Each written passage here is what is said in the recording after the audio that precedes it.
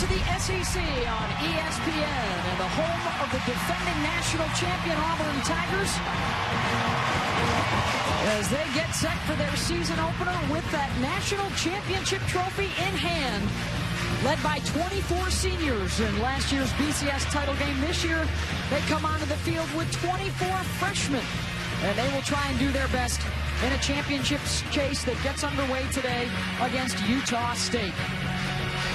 I'm Beth Mowins along with former Oregon head coach Mike Bellotti. A lot of new faces on the field today for Auburn, and the one that everyone will be watching initially is their new quarterback, Barrett Trotter. No question. If you have to replace a Heisman Trophy winner in Cam Newton, you've got to find somebody to step in.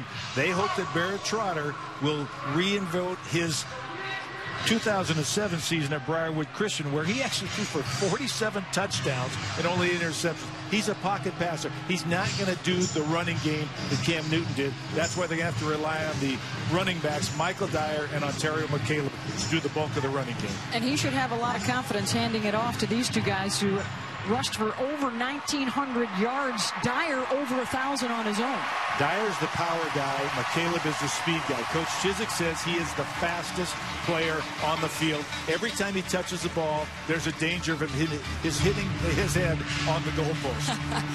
and amongst uh, the freshmen and the redshirt fr freshmen, none more prominent than that man right there, 18 years of age, Reese Dismukes. Last December, he was playing here at Jordan-Hare Stadium, winning a state championship. Now he will be prominent in getting this up-tempo attack rolling today for Auburn. How about on the other side for Utah State? They lose their best player, but they get four guys back that they didn't have last year. Yeah, it's amazing. They've got two running backs and two receivers that return from injury. Robert Turbin, Michael Smith at the running back positions. Stanley Morrison, Matt Austin, the receiver. Over 4,000 yards and 40 touchdowns, and they're all veterans.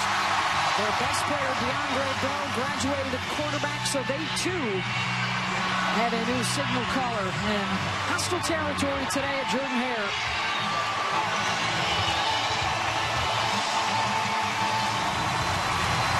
Gary Anderson, the head coach for the Aggies in his third season.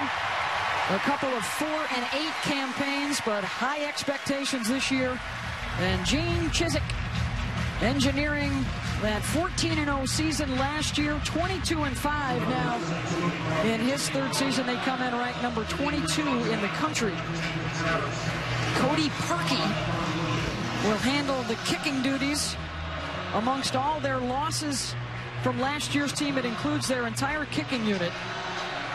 And Utah State will send back one of the best return guys in the country in Kerwynn Williams, number 25 in white.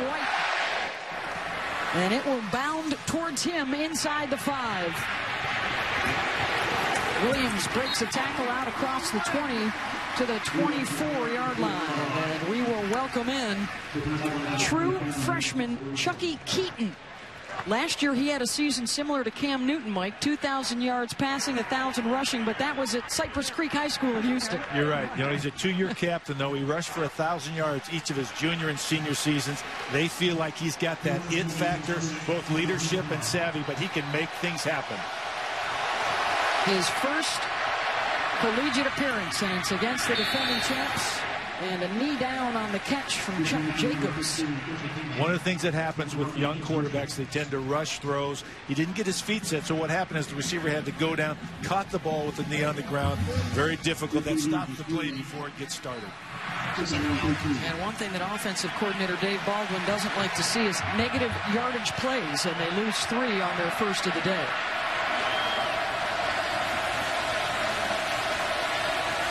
They will show all kinds of different looks. And on the delay, Robert Turbin trying to scoot to the outside across the 30. Pickup of eight on the play. The backs and receivers, well, there's Turbin who just had to carry over 1,300 yards two years ago. And Matt Austin, their senior wideout, will be their go-to guy as well as their bailout guy. The offensive line returns intact, anchored by center Tyler Larsen. He's on the Rimington watch list. Third and five. Keeton running the option and the keeper close to the 35, but he had to get just beyond it for the first down. Nosa Eguae and Kenneth Carter on the stop. The real question is with a young quarterback on the road, you do something here in your own territory on fourth or one and a half yard. I don't think so, but you never know. You got to take some chances in order to win on the road in the SEC. Well, this is something, uh, Mike, that had your knees knocking a little bit. The thought of a true freshman returning a punt, and that's the case for Auburn with Trovon Reed. That's the most difficult thing in college football, in my opinion, is to catch a punt with guys running down. Luckily, he didn't even have to touch that one. So we're going to switch it over. Well, the redshirt freshman will let that one go after the punt from Tyler Bennett, 45 yards. And here is Barrett Trotter, a redshirt, then a knee injury, then backing up Newton a year ago, getting his first start. And he's a pocket passer. He's not going to scare anybody with his running ability, but he can move. They will move the pocket. But Coach Malzahn loves him because he's savvy, he's an accurate passer, and he's got four years in his system. He's the most experienced guy, although he's only thrown nine passes.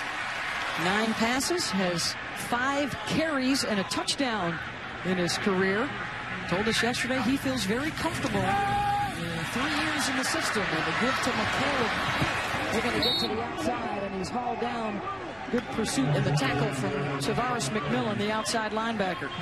And one of the things that Auburn talks about doing is getting McCalebb in space, let him get his speed in space, the running start, the fly sweep concept. They're going to test the flanks of this Utah State defense.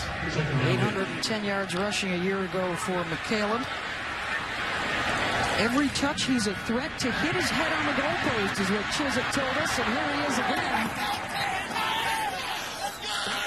behind the line of scrimmage. Kyle Gallagher with good pursuit. It's a great job in the pursuit, Beth. You hit right on the head because he's made the first guy miss both times he's carried the ball, but the pursuit has gotten to him and not allowed him to get outside where he can really turn it on.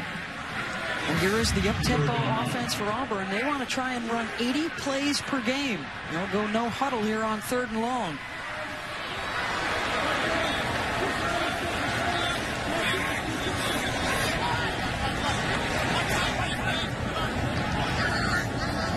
This is defensive advantage. When you're in third and long, the defense controls it. Trotter drops it off to McCalebb. Has to beat a couple of guys to get to the marker and is bumped out well in advance of it. Gallagher and Nevin Lawson coming up from the secondary.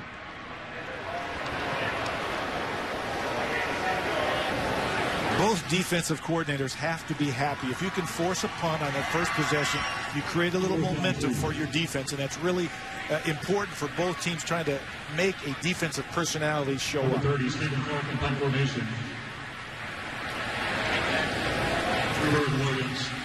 Stephen Clark the sophomore from Kansas City, will get set to punt it away here on fourth and short. Kerwynn Williams standing on his own 26-yard line. Kerwynn will have a go at it. He led the country in return yardage last year. To the 37-yard line, and that's where Utah State will have it on its second possession in the house of the defending national champs. Watching ESPN College Football, presented by 5 Hour Energy. Both teams go three and out in their first possession. The Auburn Tigers in blue. The Aggies of Utah State out of Logan, Utah in white.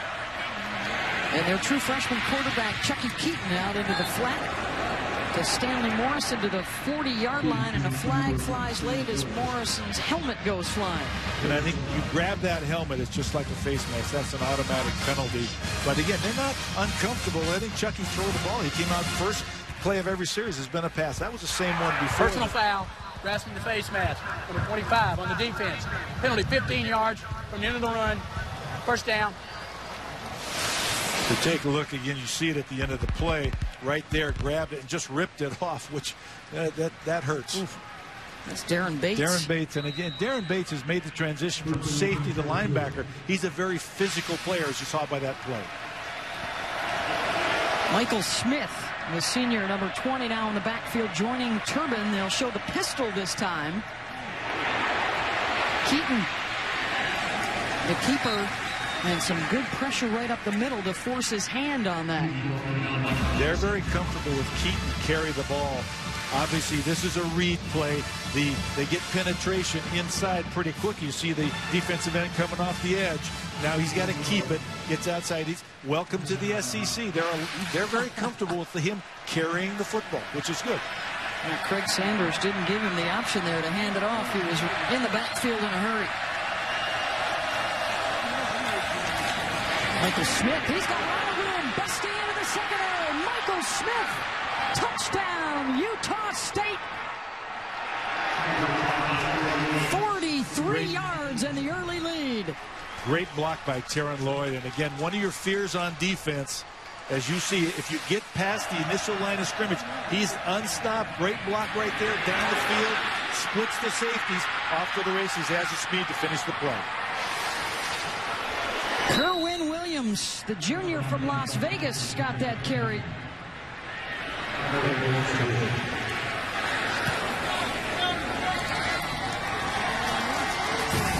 Kerwynn Williams, 43 yards and the early score. ESPN's College Football is presented by 5 Hour Energy.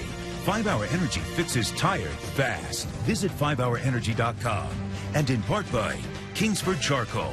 For your chance to win $10,000 and support your college team, play Kingsford's College Showdown on ESPN.com. And AutoZone. Parts are just part of what we do. Get in the zone. AutoZone. The Auburn University campus, and Kerwynn Williams has quieted the crowd with the 43-yard touchdown run going off the left side. Utah State came close a couple of years against Texas A&M, lost by a score, lost by a touchdown last year at Oklahoma. And they really thought they had poor starts to both those games. Not the case today. And it's Trey Mason with his first touch. And he's looking to electrify the crowd. And Mason out to the 38-yard line. 35 yards on the return. And here's Wendy Nix in the studio.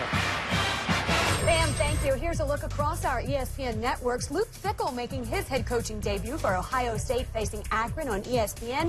Of course, we have Auburn and Utah State here on ESPN2 and Northwestern without Dan Persa on the road at Boston College on ESPNU. Pam?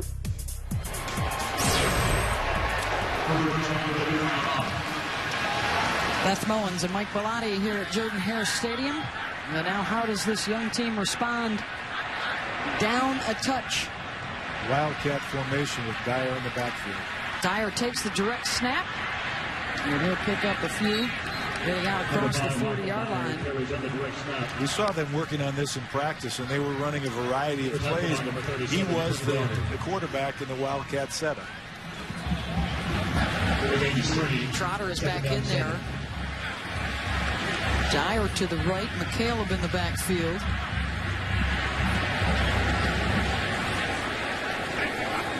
Dyer in motion. He'll get it again on the cutback. Dyer picks up a couple more. To the 44-yard line. Horace McMillan with the stop. Auburn offensively, oh, well, McCalebb, the fastest guy on the team, and Emory Blake had a touchdown in the last three games of last season, including the BCS championship. Brandon Mosley at left tackle, the lone returning starter, and by the accounts of his coaches and teammates, he is the toughest guy on the team by acclamation by everybody. Offense, defense, coaches, quarterbacks, defensive line all say he is the toughest guy. They really want to push the pace, and you're on third and five. They want to keep the possession. Trotter to the air, wide open is Blake at the 40, still on his feet. Emory Blake, he's going to take it all away, and Auburn responds with six of its own.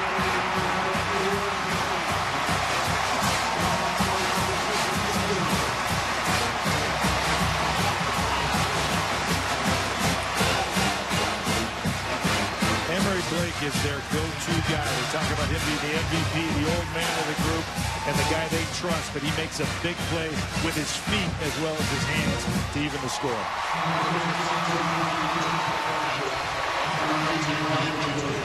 Looks like they might be missing somebody. They're waiting here.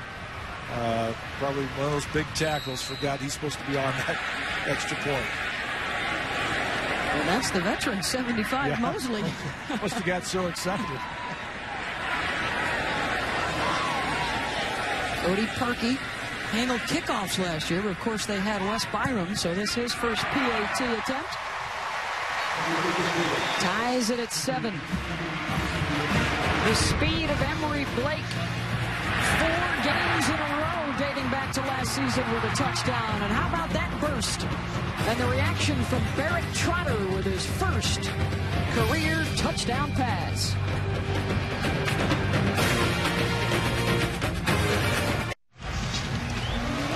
8.59 to go in the first quarter here at Jordan Hare Stadium. Auburn responding to Utah State. 56 yards. Barrett Trotter to Emory Blake.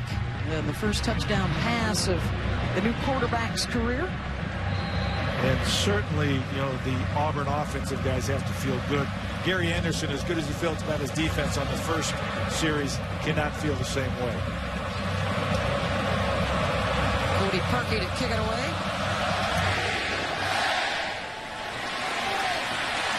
Through the end zone, Kerwynn Williams will not have an opportunity. They'll take it at the 20. Mike Bellotti, let's go back to that Auburn touchdown.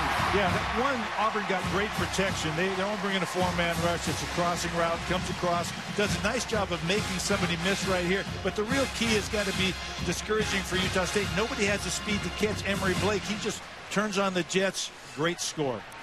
Utah State touchdown. One thing here. Watch this guy. He's a great block. He does an unbelievable job of containing the defensive end, starting at the point of attack, making the initial hole. Running back goes through untouched to the end zone.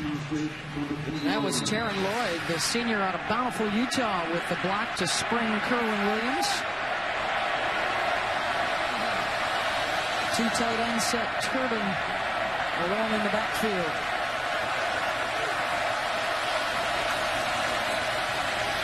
Keeton with the short drop and the quick completion out across the 25 with Travis Van Leeuwen. A couple of quick strikes for both sides. A minute three for Utah State, a minute and a half for Auburn. Didn't take very long. You want to score quickly. One of the things that Coach Anderson talked about, too, was handling prosperity. The idea they scored first, and that's okay, but also the adversity of giving Yep. up the quick touchdown. Sometimes difficult to stay even keeled in this kind of environment for the Aggies. Five wide. The true freshman Chuckie Keeton by himself in the backfield. And a whistle over on the far sideline. Gary Anderson wants a timeout for the Aggies. His freshman was struggling there. We'll take a timeout as well. We're tied at seven at Auburn.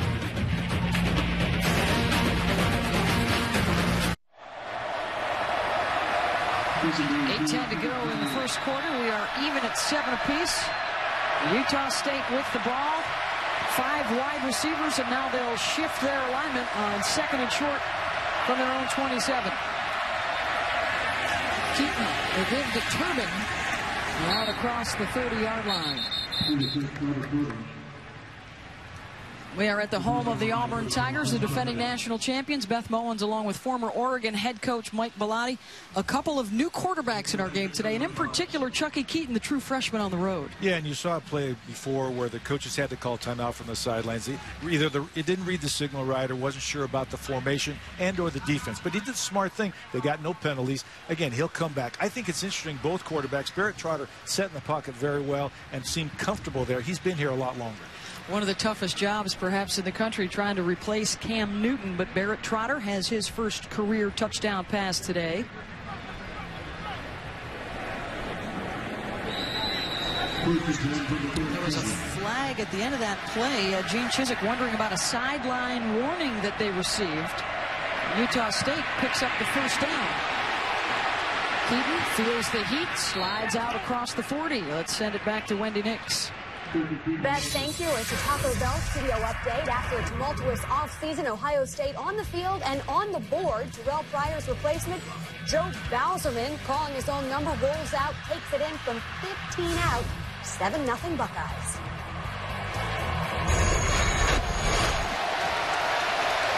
Thank you, Wendy.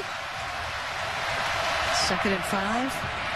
Dropping it off to Smith. Stands it at the 42 and out across midfield into Auburn territory. And another Utah State first down. One of the things you like about a freshman quarterback is the ability to feel things set after see it. Feel the rush coming off that weak side there. He's untouched. He feels it. Doesn't look and see it. He feels it. Just rolls. That's why they love his escapability. First and 10. Robert Marshall is the offset back, and the carry will go to Michael Smith. Marshall gets him a nice block and hits him another first down.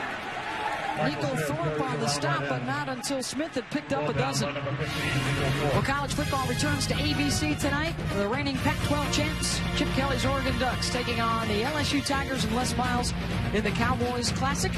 It is all a part of Dick's Sporting Goods kickoff week Saturday at 8 on ABC. College football lives here. And Utah State not shying away from quickly running another offensive play. Jacobs inside the 30. Be aware that last pass was a lateral. So they could be setting up the double pass off of that look. Offensive coordinator Dave Baldwin told us the other day they'll run some three and four tight end packages. They'll call, they'll do a muddle huddle, which they will partially huddle or not huddle at all. Yeah, it's, what you just saw was the muddle huddle. Some guys hanging around the center, everybody else just getting to their spots. Here's that two and three tight end look also that we talked about earlier. They'll bunch on the left side with Turbin in the backfield and some movement. Evans got a jump defensively on the right side, but he was lured. Yeah, one of the issues is not the veteran offensive line. They have five returning starters up front. Those guys are veterans, but sometimes the young quarterback, his intonation or his calling of the cadence is not always Ball the same. start. 91 on the offense. Penalty is five yards. Down remains second. I think they actually was on the left guard, but uh, They called it on DJ Tialava, the 6'4 sophomore out of West Jordan, Utah. You want to eliminate unforced errors. That's they, they were in a great situation. Now they're in more of a normal second and long. Second and eight. Turbin and Smith in the backfield together. Got a guy wide open down the field. They had Austin and they couldn't get it to him. And Stanley Morrison in all kinds of trouble back at the 44. The double reverse pass, they had the guy deep. Unfortunately, too much pressure from that Auburn defense on that side. You see, here's how it starts. There's the toss back. Got a chance, but guy's right in his face. And there's a receiver running completely clean 20 yards behind the secondary. Ted Roof, the defensive coordinator for Auburn, he knew his man was beat deep. Put some good pressure on the ball, preventing Morrison from the throw. 13 yards on the loss. It's third and 20. This is third and forever. Keeton with time has a man and a first down. I'll tell you what, that's going to frustrate Ted Roof much more because to run down the field and pick up a third and 20 really is difficult. You can see again, they're taking a guy right down the middle, two deep zone, goes over the top of the linebackers. Nice throw. A better throw could have allowed him to keep running and possibly even score. They needed 20. They got 25 to Xavier Martin. Chuckie Keeton showing some tremendous poise in the pocket. The delay to Turbin. He's got Smith blocking in front. Takes a big pop from Evans at the 11. The spot might give him another first down.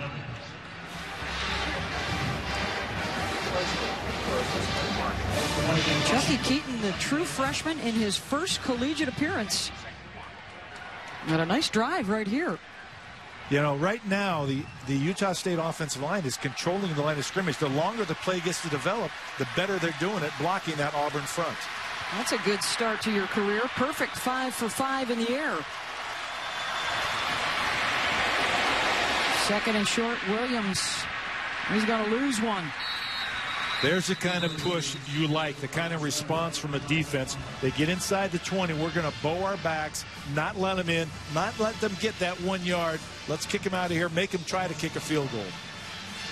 All four sophomore defensive linemen had a hand in on that stop. Third and short on the 10th play of the drive. Williams, he's got it inside the 10. Middle linebacker Jake Holland along with Jonathan Evans on the tackle. Last year, Auburn was great against the run, only giving about 109 yards a game. They don't have Nick Fairley inside. It's a huge difference now. They've got to find that guy that can be the disruptor. Williams off the left side to the five. Demetrius McNeil on the stop. Look for play action here. They've pounded them, and again, they've had success running the football. That sets up this red zone area right here, second and long, is typically a play action down. And Mike, we are seeing this experienced offensive line getting the job done here for Utah State.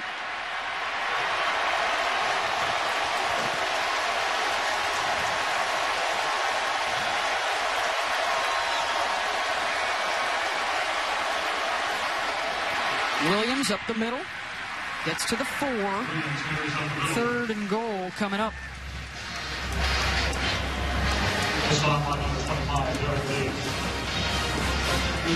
They were the best team in the WAC in the red zone last season.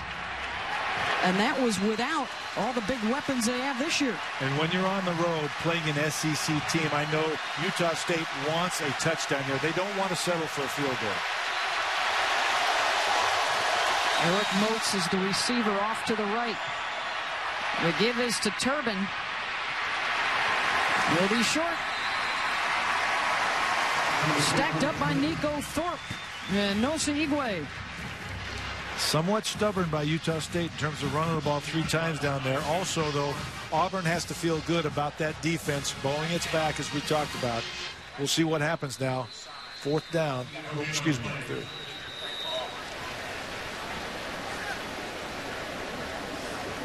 Number 22 is to Sharvin Bell down in the end zone. Junior out of Kissimmee, Florida, who was a starter in both the SEC championship game and the BCS final last year and has emerged as one of their leaders in fall camp. He's number 22 in blue. They can ill afford to lose him. He's their starting corner. He's also their starting nickel in the nickel defense. And after that collision, he is now up and trotting over to the sideline. It's fourth and goal from the three, and uh, they are talking about going for it here. And Chuckie Keeton has stayed on the field with the offense. My point is, in order to win this game, Utah State has to score a touchdown every time they get in the red zone.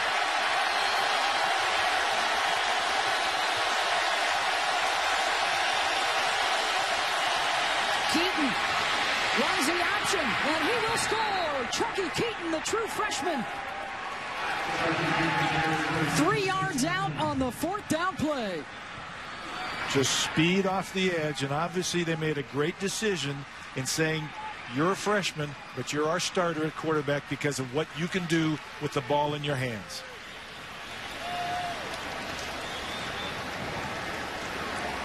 kept the drive alive on a third and 20 play. Okay. And uh, now Chuckie Keeton finishes it off with the three-yard run.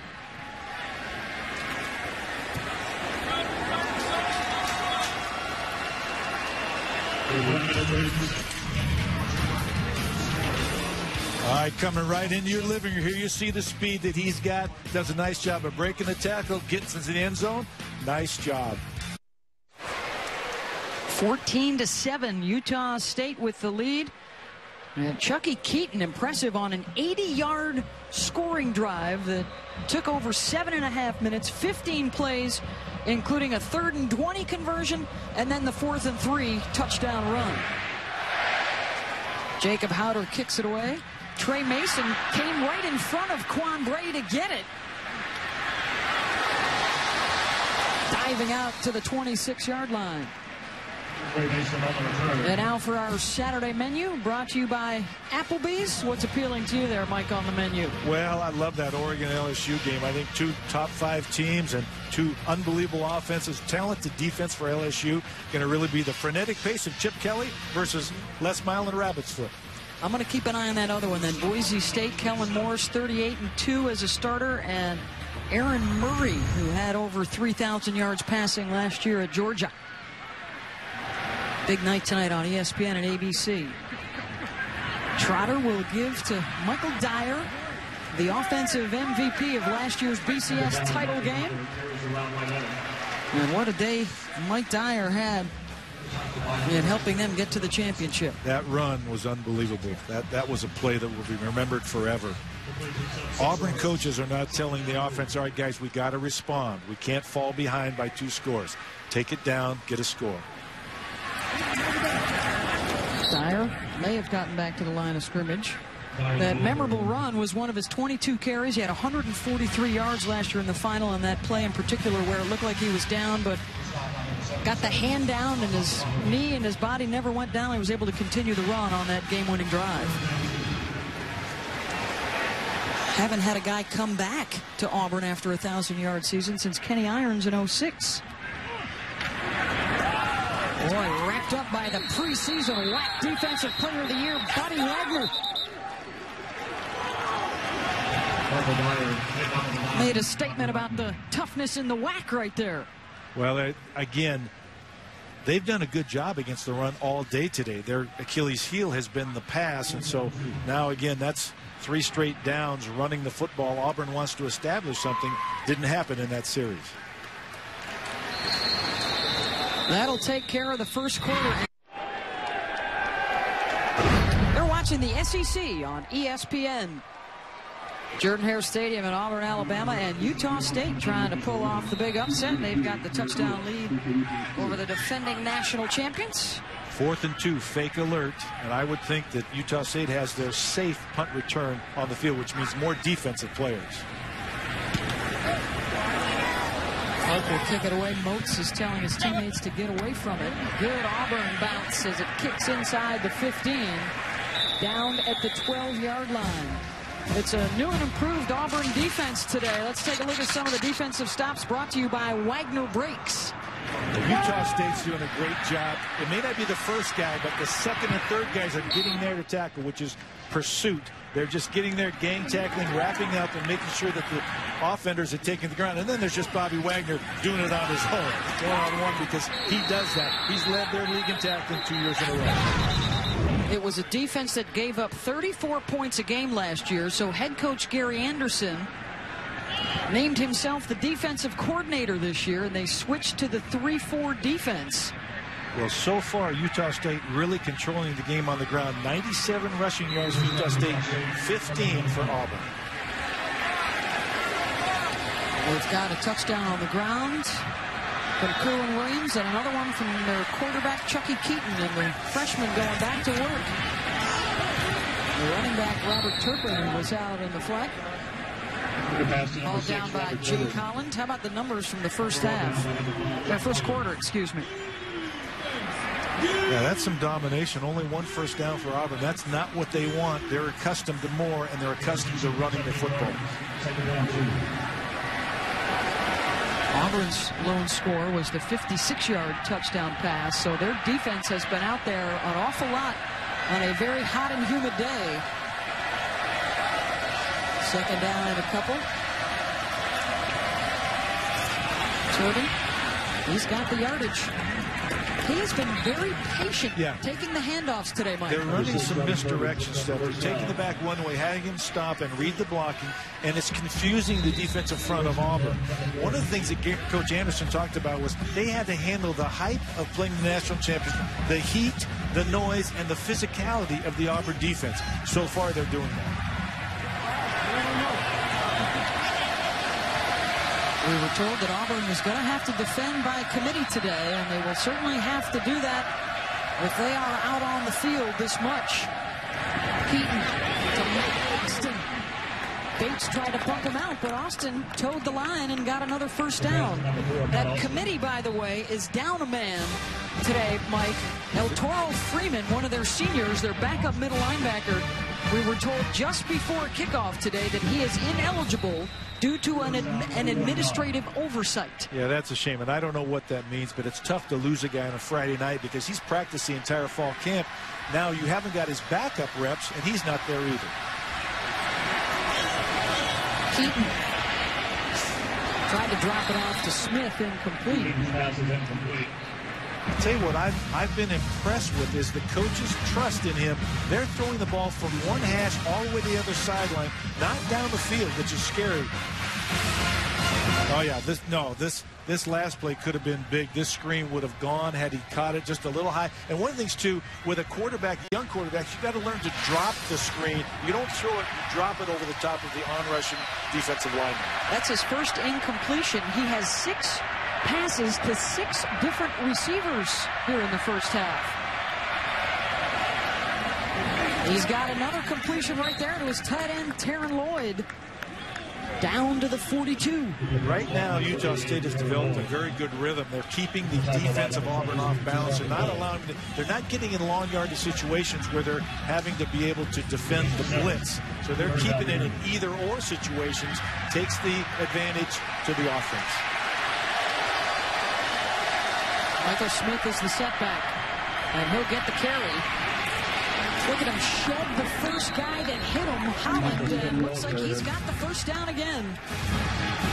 We talked about the advantage of having those veteran running backs that understand how to run for that tough one or two yards when necessary. Defensive coordinator Ted Roof told us yesterday they have got to stop the run.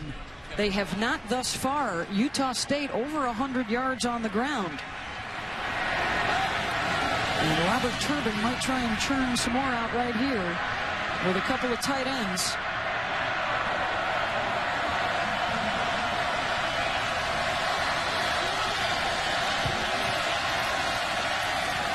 Play action to Turbin. Keeton looking deep, incomplete.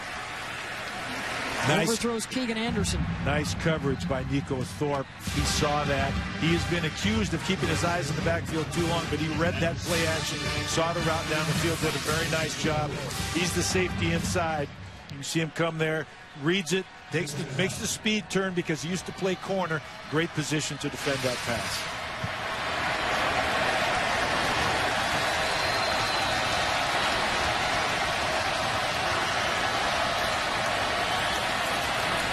Bates showing blitz. Hand off to Turbin. May have gotten back to the line of scrimmage. Jamar mm-hmm. Travis with the hit. We talked about the idea that Auburn had been in behind the sticks. They were in front of the sticks. It was second and 10. They came with a blitz that time, zone blitz, right into the play. Nice job, nice call by Ted Roof. Third and 11. On their last drive, Utah State converted a third and 20. I would anticipate some type of blitz to try to shake the confidence of the freshman quarterback. They rush four. They set up the bubble screen. Well, they will be short. Again, we talked about the idea. This is probably right on the edge of your decision. Are you going to kick a field goal? You're going to go for it? You're going to fake punt? This is that decision time for a head coach in terms of what do you want to do? Are you the favorite? Are you supposed to win? Or are you the underdog and you have to go for it? The kicker, Josh Thompson, did not attempt a field goal, did not play last year. So they will go for it on fourth down with five wideouts. Watch out for the mobility of the quarterback. And again, I think Ted Roof says, wait a second. We want to make sure we're ready to line up. They've converted once on fourth down. Utah State will try again when we come back to Auburn.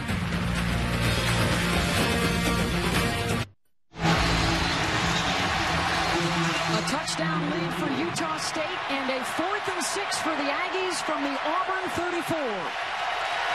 Auburn has to account for the mobility of the quarterback, Chuckie Keeton, and yet cover the wide receivers.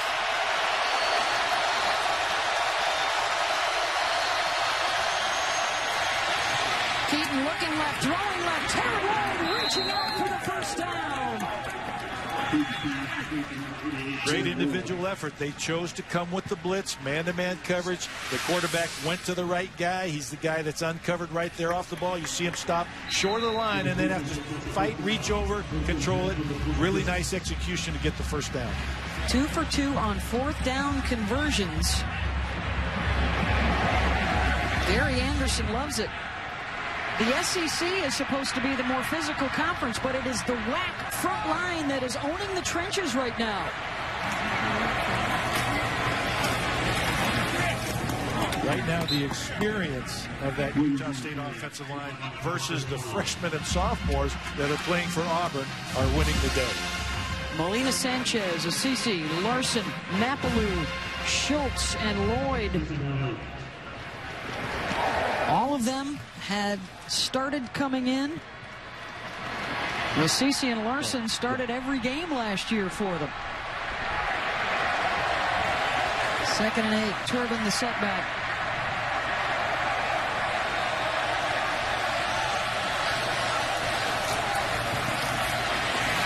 Keeton delivers to Lloyd as tight end with another catch in traffic. Inside the 15, move the chains again for the Aggies. I tell you what, that was great patience by the quarterback. The tight end broke out. There was a defender there. He stopped and came back to the inside, and Keeton had the wherewithal to lead him that way. That's a veteran move. That's not something you expect a true freshman quarterback to do in his first game on the road in the SEC environment. I'm really really impressed so far. And again, with his ability to control the ball because they haven't put the ball on the ground yet. And that's really important. Play action, Keeton trying to sell it. Will tuck it and run. He's trying to beat Evans to the end zone. Jumps out of bounds inside the five. And the spot should give them a first and goal. We've said it already. Playing with the maturity, well past his age. Here you see him tuck back. He's in the pocket now. There's nobody. He looks back, finds, feels a big seam there, and then shows the speed and the ability to make a guy miss at the end and not take punishment. Last year at Cypress High School in Texas, and now in front of 85,000 at Auburn. Keeton gives to Turbin. Nothing doing right up the middle. The good push from Whitaker and Carter. Coach Roof talked about he needs Jeffrey Whitaker to be the guy in there to create push, to change the pocket, to stop the run, to allow his linebackers to run to the football. They really need it right here at this part of the field. That's 54 in blue. He makes a push again. And the second effort coming up just a bit short. Lemonier able to hold him up till some help arrived. Lemonier not the biggest guy. He's, he's grown, though, to about almost 240. It's still a mismatch down there against the offensive lineman and tight ends. He's giving up some weight. He's the guy they want coming off the edge in passing situations. They're going to challenge him right here. Turbin again. And on the 16th play of the drive, he punches it in.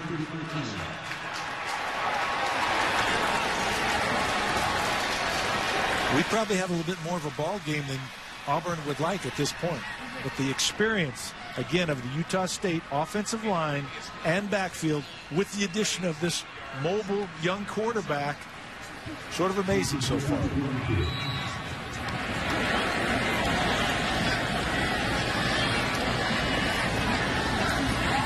Thompson's PAT is good. Three rushing touchdowns here in the first half for Utah State. Turbin from two yards out. Yeah, the, the defensive line trying to get settled. They're really not there, ready to go. Nobody to stop the ball coming in.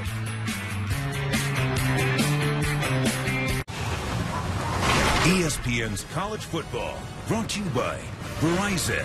Power your business with the Verizon 4G LTE, the fastest, most advanced 4G network in America. Taco Bell, think outside the bun.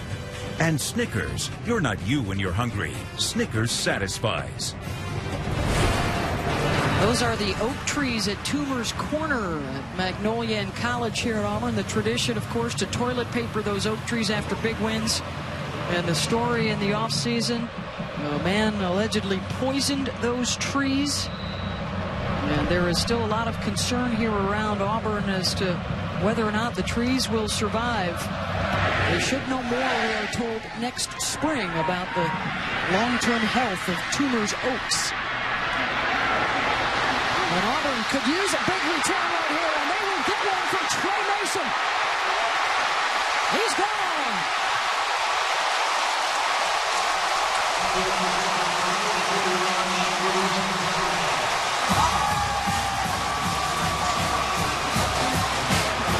Mason jumped in front of the other returner last time to take the ball.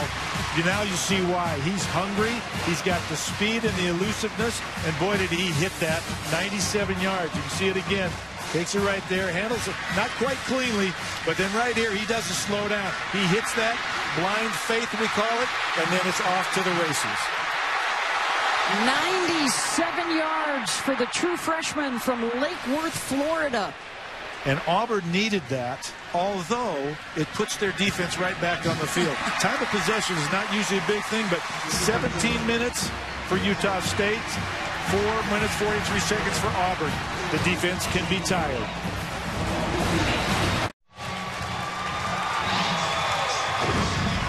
Watching the SEC on ESPN.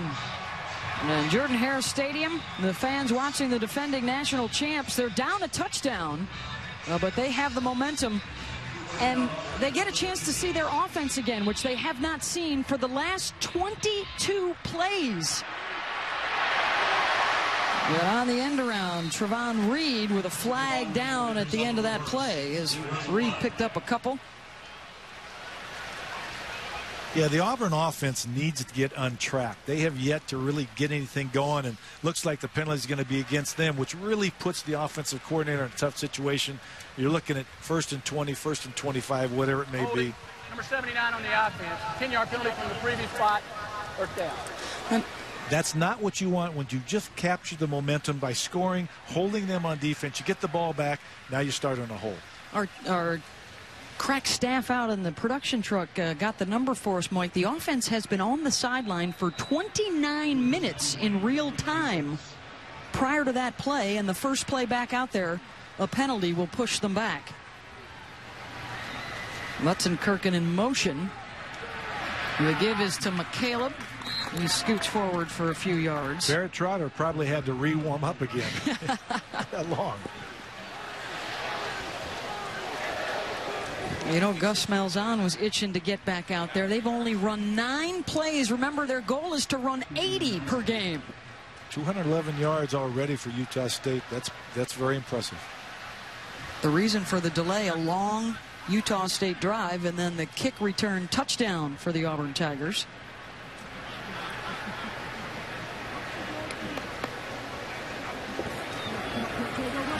Trotter.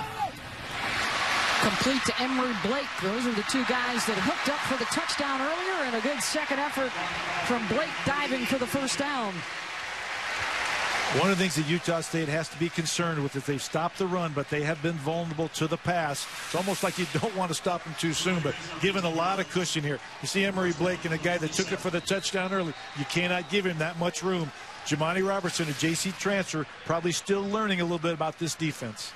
Blake scored on a short down and in that he then ran for 56 yards at a timeout here from Utah State. Well, we knew coming in there was a lot of new faces on the Auburn side and that the experience would actually be with Utah State. And I think, Mike, that has shown most importantly on the offensive line and with those four guys that were hurt last year that are all back with their uh, skill guys. We talked about over 4,000 yards and 40 touchdowns of experience coming back. That's unbelievable. The improvement has been on the defensive side. To me, the scary part about this is special teams. Auburn has more talent on the field when the special teams occur. Utah State has to be very careful of giving up the long returns as we've already seen. Well, from two newcomers in our game to two very experienced ones tonight in Atlanta, Kellen Moore and Aaron Murray coming off of big years last season. It's Boise State and Georgia. The Chick-fil-A kickoff game is part of Dick's Sporting Goods kickoff week on ESPN and ESPN3 Saturday at 8 Eastern. That's also streaming live on watchespn.com. Get that app for your mobile phone. Michael Dyer breaking a tackle.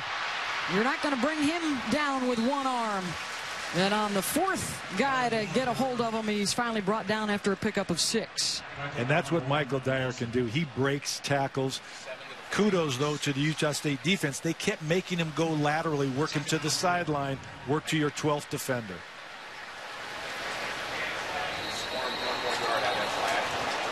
There's a flag. Flag before the snap. And again, Brandon Mosley, their most experienced offensive lineman, wanted to get a jump on that snap count. Ball start, 75 on the offense, 75 yards. Second down. Lee Ziemba, Ryan Pugh, Brian Isom, Mike Berry, the four starters up front that are gone this year. Mosley is the only guy back. Auburn, by the way, has 14 guys that are still having a shot at making an NFL team from that championship team a year ago. 14 guys there and eight freshmen in the two deep on offense. That was the fourth penalty of the day on Auburn. Trotter off the pump. Drops it over the top of the defense. Was Reed in bounds. The officials along the sideline are going to talk about it, and it looks like they will give it to him at the 41, and that'll move the sticks. View of this, let's see. We'll take a look here. He's got to have one foot down inbounds, and it looks like it was. We're sort of blocked, but looked like he had that foot. Second look there. Yeah, that one foot comes down inbounds. I believe they're probably going to review this, though. It's that close. They'll actually mark him inside the 40. One of the new things this year, Mike, is that the coaches now in the press box upstairs have a monitor. On the field was a catch so they can see the plays and whether or not they want to review it. It's an interesting dynamic because in the past, coaches never had any views. They just had to say, hey, what did you see? Do you think you saw it? And you'd have whatever replays could be seen in the stadium. Now they have a monitor that can be tied into feeds to give them another look. The hard part from this angle is seeing where that sideline is based on where his feet came down. Need just the one foot down and it's the it's got to be the first foot down. If a foot comes down out of bounds before the other foot comes down inbounds, it doesn't count. And I'm not sure. There's he's got one foot inbound and one foot out of bounds. The question is, was the inbounds foot down first?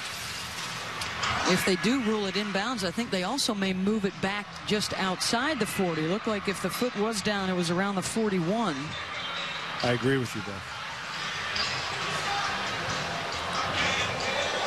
Instant replay is an amazing deal because, you know, the, the officials do a tremendous job and they have to make instantaneous split seconds decisions on things that sometimes we go back and look at it 10 times on the thing and can't decide really what happened. This, by the way, is not a challenge from Utah State. It's a review up in the booth. So it would not uh, cost them a timeout if they don't get it to go their way for Auburn, that's a positive play for Barrett Trotter. He rolled out, bought time under pressure, put a ball where it could be caught to make a huge first down potentially. And they need this from a momentum standpoint.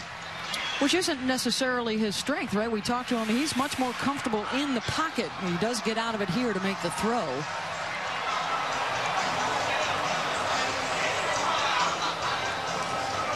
Yeah, I would think, again, based on that look that we have, it just really depends on that other foot, whether it was down out of bounds first. He definitely has a foot inbounds with the ball in his hands. Ruling is a complete pass. And it will stay that way.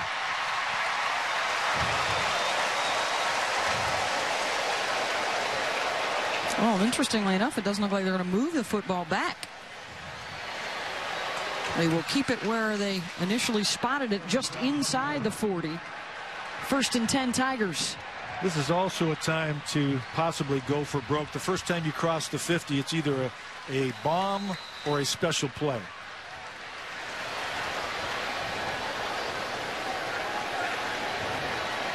Blake, who has the touchdown catch, is to the left. McCalebb in motion. Trotter tucks it into his belly, and he's stuffed right around the line of scrimmage. Good push from Bobby Wagner once again, who's led the WAC in tackles each of the last two seasons, number nine in white. Auburn wants to be a downhill running football team, a lead back, and everything they do, though, ends up being a lead back power running game. McCalebb offset on second and nine.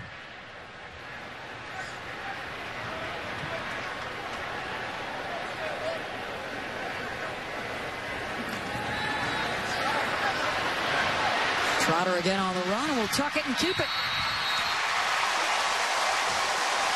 Steps out of bounds around the 35-yard line after a pickup of four. Good pursuit again by Wagner and Gallagher. Very nice job by Trotter, showing actually pretty good speed on the outside. One of the other things, they've got 2.24 left in the half. What Auburn would love to do is milk the clock, get it down and score, and not give Utah State the ball back with any time left on the clock. Third and five.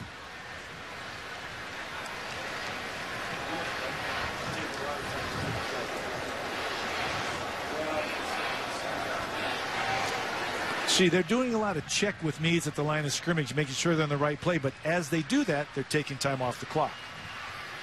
To McCalebb and nothing but white jerseys around him. Jake Dowdy throws him for the three-yard loss. Fourth down coming up. It's a big fourth down. I would think they have to go for it. They're outside field goal range. I don't think they want to punt. Uh, Utah State may consider taking some timeouts on their own. It just you don't want to give them more time because you're getting at that 130 part, and it looks as if it looks as if Auburn may punt now, uh, trusting their defense and maybe special teams to make a play. Fourth and nine from the Utah State 39 after the loss. And again, we saw them practicing fakes with the punt team also. And they, they have some fakes in there too. So I'm sure that Utah State, as we talked about, I see Bobby Wagner. They yeah, took the delay to give their punter a little more room. How about this, though, Mike, in the first half for an Auburn team that likes to run first? 30 yards rushing in the first half. So Utah State has done what it wanted to do first and foremost, stop the run and make Trotter beat him some other way. And that defensive line, Lapuahu, Fili Moatu are doing the things that Coach Anderson wanted. They're stuffing it up and they're allowing Bobby Wagner to run to the football. Utah State letting Auburn take that delay, by the way, and running some more time off the clock. High punt. They'll have a chance to field it. And they are able to keep it out. Excellent coverage on the punt. 43 yards without a return. And Utah State with its back to the goal line. That was a great punt and great coverage. You see him circling around it down the field. Very lucky, though. Nobody caught it. They can't catch it, but if it breaks the plane to the end zone, it is a touchback. Josh Harris and Chris Davis, the first guys there. Well, with only a couple of races left to the chase, some bubble drivers like Tony Stewart and Dale Earnhardt Jr. looking to make a move in Atlanta. It's the NASCAR Sprint Cup Series presented by Pennzoil. Coverage beginning on ESPN Sunday at 6.30 Eastern. As disappointed as Utah State is in getting the ball here with no time left at the two-yard line, they're probably very excited that Auburn did not get any score. The key here is no turnovers. Hand off to Turbin. He's able to work his way out of the end zone out to the five-yard line. I would assume Auburn probably took that timeout. Well, the clock continued to run for a little bit there, and about four or five more seconds trickled off. Ted Roof is going to tell his guys, the first guy's got to wrap up, the second and third guy's got to rip the ball out. We get the ball down here, we've got a chance to score before the half is over. Conversely, Utah State is saying two hands on the football. Control that thing. No way. We've got to protect the ball. And protect protection of the ball is all 11 players on the field. Let's take a look back with our Liberty Mutual drive recap. A couple of big drives today for Utah State. Well, again, they're they're mixing a very powerful run game with Chuckie Keeton doing his best Diondre Borel imitation, running the ball when he needed to and making big plays. That was a 16-play drive, nearly seven minutes long. Their first scoring drive or second scoring drive, 15 plays in seven and a half minutes. Well, they will take a knee. Auburn with one more timeout.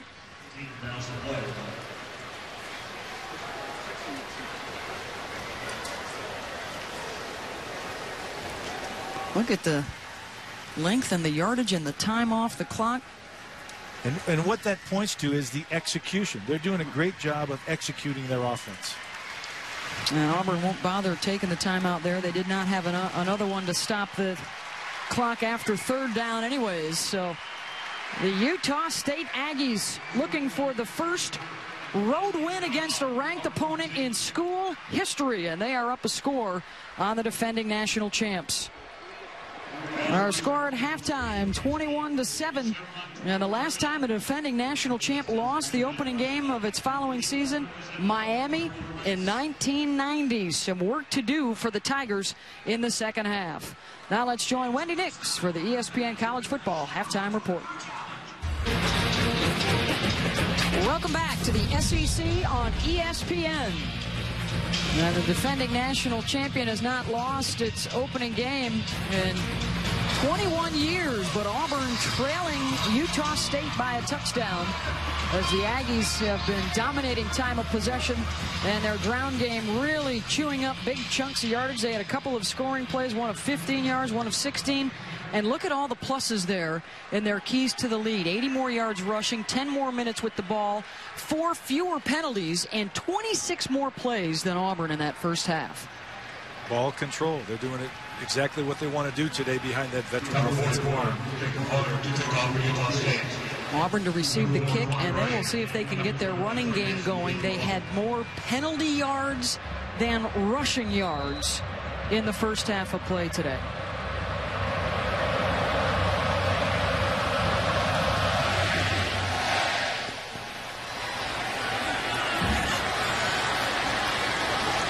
Is going to be Quan Bray this time bringing it out. The cutback around the 30-yard line. And falls forward to the 35. 33 yards on the return for Quan Bray. Beth Mowins along with former Oregon head coach Mike Bellotti here at Auburn. And the big story today, Mike, has been the dominance of this Aggie offense. Utah State running game. They have run the football. They've controlled the line of scrimmage. Auburn, who is a running football team, has not been able to do that. It hasn't been Barrett Trotter's fault. He's 5 of 5 passing, but they're just not getting it going in the running game. They scored a touchdown on a kick return, and other than that, the one long pass play from Trotter to Emory Blake. That's been the lone bright spot offensively. They've only had 16 plays from scrimmage. And Trotter to air it out, that's his first missed attempt of the day. He had hit on all five of his passes in the first half. He was looking for Travante Stallworth right there. But that's not a statistic that Auburn wants to see at a club that rushed for 284 yards a game last year. They knew they were going to lose some of that because obviously Cam Newton was the leading rusher on the team and one of the leading rushers in the nation. You lose him, but they've got great running backs. Trotter looking confident and poised on that throw to Stallworth out to midfield, 15 yards and a first down. To me, I think what they have to do, the biggest mismatch on the field is the passing game of Auburn versus the secondary of Utah State. And I think they've got to force that issue initially to get some momentum going. Here they go now trying to push the pace. They will quickly snap the ball, and the give is to Michael Dyer. Dyer over a thousand yards rushing last year. McCalebb over 800 yards rushing, but neither has been able to crank it up yet today. One of the things, too, Utah State is playing a new front, a 3-4. They're playing variations of the 3-4 and the 4-3, and sometimes that causes confusion in the offensive line just in terms of you're not quite as crisp or aggressive in your blocking assignments. Second and nine. McCalebb in motion to the backfield. Little play action for Trotter. Bobby Wagner giving chase and gets him by the shoestrings. The sack for Bobby Wagner. Didn't rush a whole lot last year. They want him more active in that department this year. And I'm not sure if he was rushing or just reacting to the uh, Trotter sprinting out of the pocket. But again, Trotter was buying time, couldn't find anybody open. So good job by the Utah State secondary. Third and nine without a huddle. Check off to the sideline. Auburn does this to get a chance to survey the defense and then make the call that they think is right to go against that front and or coverage look.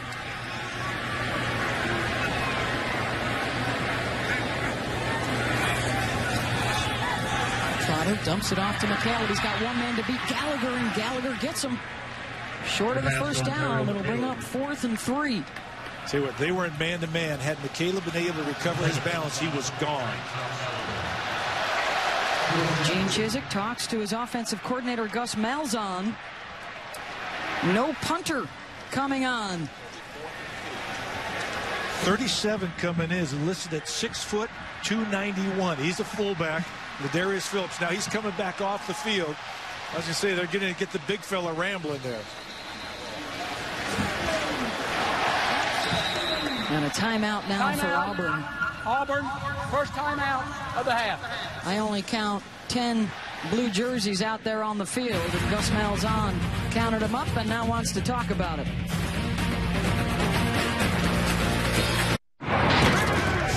You're watching ESPN College Football, presented by 5 Hour Energy. The offense is on the field. It's fourth and three, two and a half. Barrett Trotter's in there, but we saw him practicing quick kicks. They may go out in a formation, decide if they like the alignment or don't like it. Now it's a power running formation. On fourth down, the pitch to McCalebb, and he's got the edge. Inside the 35 and bumped out at the 30-yard line. First down Tigers with a pickup of 12. Key fourth down conversion. This is the top belly toss is what we call it. You fake the belly one way, toss it back to McCalebb. He's tough to tech in the open field. All he needed to get was two and a half yards. Got a nice block from his wide receiver, Travante Stallworth, to spring him. Trotter underthrows Stallworth, who had some space around the 10. Really important. Really important for a team momentum right now to capitalize on that key. You get a fourth down conversion. Now you're in scoring territory. You've got to get a minimum of field goal. You've got to get points on the board. In the first half, Utah State was able to convert on a fourth down, and then they went in to score to give them a 21 to 7 lead. Three rushing touchdowns for Utah State. Dyer trying to get the ground game going for the Tigers, and he's got another first down and another 12-yard pickup inside the 20. That's the way to get the game going. You see Gus Malzahn there talking about keep the tempo up. Let's go, let's go, let's go.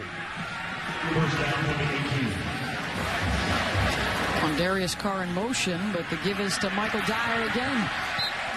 Down to the 11. They have not had success running straight ahead today against the Utah State defensive line. They have taken advantage, though, of the flanks and getting on the edge with their team speed. Nine rushes now up to 40 yards for Dyer. Again, no huddle for Gus Malzahn's up-tempo offense.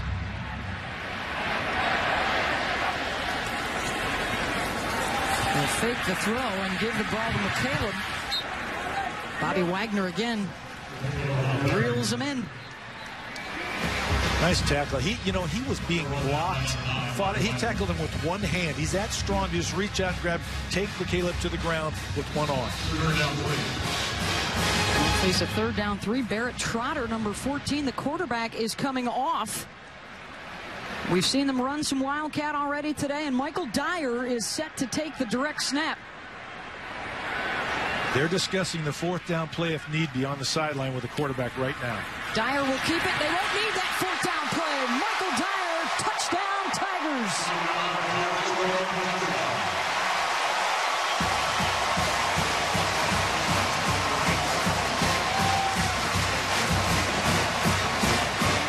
Locker room at halftime. I'm sure Coach Chizik talked about the fact that, guys, we get the ball. Let's make a statement. Let's take it down and score. Let's tie this game up. Let's get the momentum on our side.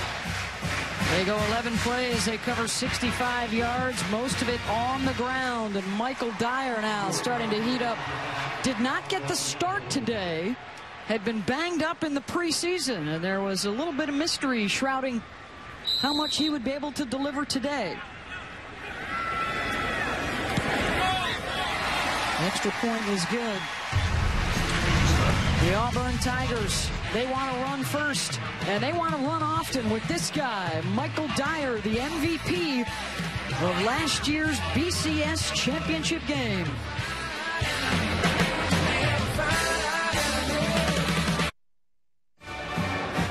ESPN's College Football, brought to you by Kingsford Charcoal. For your chance to win $10,000 and support your college team, play Kingsford's College Showdown on ESPN.com. And Axe Shower Gel.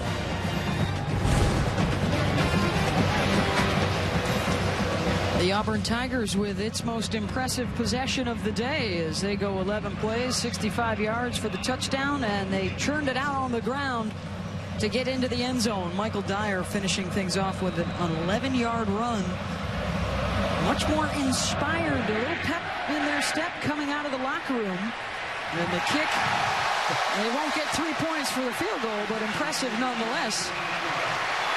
And it was heading into the locker room, Mike Bellotti, that Gene Chizik started getting his team ready. As we take another look at this going through the uprights. This is a pretty good kickoff. I'm going to tell you what. Hits there and bounces through. That's that's a kicker that's pumped up too. Not just the team, but the kickers too. Gene Chizik told us yesterday there's a certain thing, way we do things here at Auburn, whether we are favorites to win the national championship or whether we got 24 freshmen on the roster. Robert Turbin in the backfield, and they're trying to get Chuck Jacobs some space, and he can't find any. Daren Bates on the tackle. Here's Chizik heading into the locker room. And watch him. Winning is not a sometime thing. Winning is an all-the-time thing. He's getting on guys that are walking off the field saying, hey, we don't walk around here. Doesn't matter what the score is. Doesn't matter who we are, where we are. We run off the field. It's an attitude you take about winning.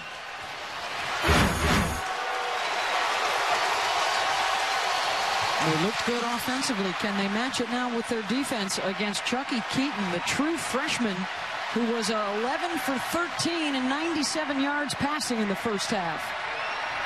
To the air again. They really like the speed of Jacobs, and they're trying to get him some touches here. He's got the first down. He's their big play guy. He's their Onterio McCalebb. He runs 10-7 and 100 meters. He may be the only guy on the roster we see a track time for. But the reality is they want to try and shake him loose because he has the speed to take it all the way. First and 10 from the 32. The Aggies have come close the last couple of years to pulling off a major upset. They need a big second half here to get it against Auburn. Looking for Turbin incomplete. Well, college football returns to ABC tonight. It's the Oregon Ducks and the LSU Tigers. Got the Cowboys Classic coming for you from Dallas, all a part of Dick's Sporting Goods kickoff week Saturday at 8 on ABC. College football lives here, both sides with some key components that will be missing tonight. Well, I know the Ducks are just happy to have uh, Darron Thomas, who actually turned down going to LSU as an athlete to go to Oregon as a quarterback. Second and 10. Pistol with Michael Smith now on the move. Keeton rifles one across the middle. And a completion for another first down. 11 yards to number 11, Stanley Morrison. Well, how about those Oregon Ducks? And not only Thomas, but LaMichael James, who led the nation in rushing last year. And LaMichael James, they'll get a steady dose of Michael James because they don't have the depth at receiver this year. They're going to have to run the football. They miss Cliff Harris, a very dangerous punt returner for this game. So I, I expect a huge dose of LaMichael James. If LSU can stop that, it's going to put Oregon in, in trouble. Harris is out for an off-the-field incident. So are two of the key playmakers for LSU, Russell Shepard and Jordan Jefferson. Taron Lloyd jumped the gun. Number 88 start. in white. Number 66 on the offense. 25 yards. Down remains first. Actually, what happened there is the tight end was going to trade or move from one side to the other. When he moved back, it actually triggered the offensive lineman next to him, thought the ball had been snapped, and so he just reacted, unfortunately.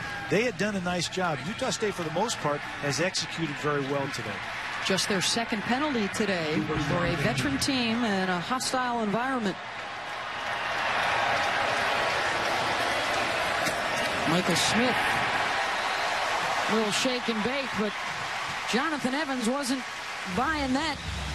The junior from Prichard, Alabama on the stop. We've seen all day when Auburn sits back, the experience and the decision-making of the running backs at Utah State generally prevails. When they come after people and stop it before it gets started, they've been very effective. Little muddle huddle right here as they get set with five receivers.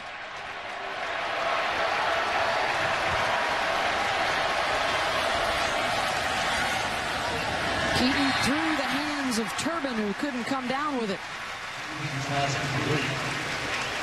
Keeton has thrown several great passes today. The trouble sometimes when he's under pressure trying to get rid of the ball quickly, you don't finish your throw, and that's something that he'll learn with experience. But he's done a great job. But those last couple throws have all been high.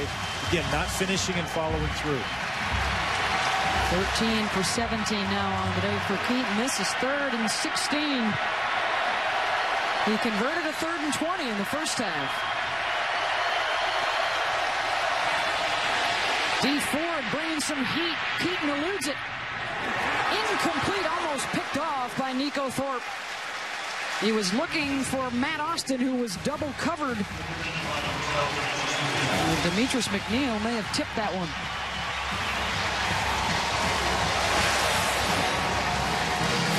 Nice job again by Chuckie getting outside. Ball right through the fingertips, outstretched. He put that ball where it needed to be, despite the rush of Dee Ford. Dee Ford coming off the edge, we'll say, is unbelievable. Very, very tough to block in the open field. Ted Roof called Dee Ford a rocket coming off the edge. And now on the punt, Trovon Reed, it will go over his head. He will grab it inside the five and bring it back outside the 10. 60 yards on a booming punt from Tyler Bennett.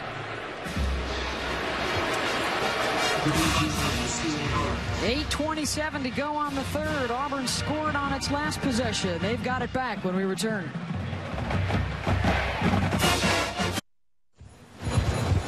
Tied at 21, 827 to go. Those are the Toomer Oaks at Toomer's Corner. They've been there for over 100 years and the long-standing tradition to toilet paper those trees after big wins. Uh, in the offseason, uh, of course, uh, the big story around here, those trees are ailing after a man has admitted to poisoning those trees. Rescue efforts are well underway to try and save the trees. They expect to know a lot more about the Toomer's Oaks next spring. But certainly one of the great traditions in college football, and Auburn fans and really around the SEC Ball hope start. they can Number 65 continue on that. the offense. Five-yard penalty. Now remains first. You saw right there, the Utah State defensive line was going to stem, we call it late moving prior to the snap, and it threw off the offensive line of Auburn. They jumped off sides. That's one of the things that they talked about with this new look defense, jumping from a 3-4 to a 4-3, moving the lineman prior to the snap to change blocking assignments.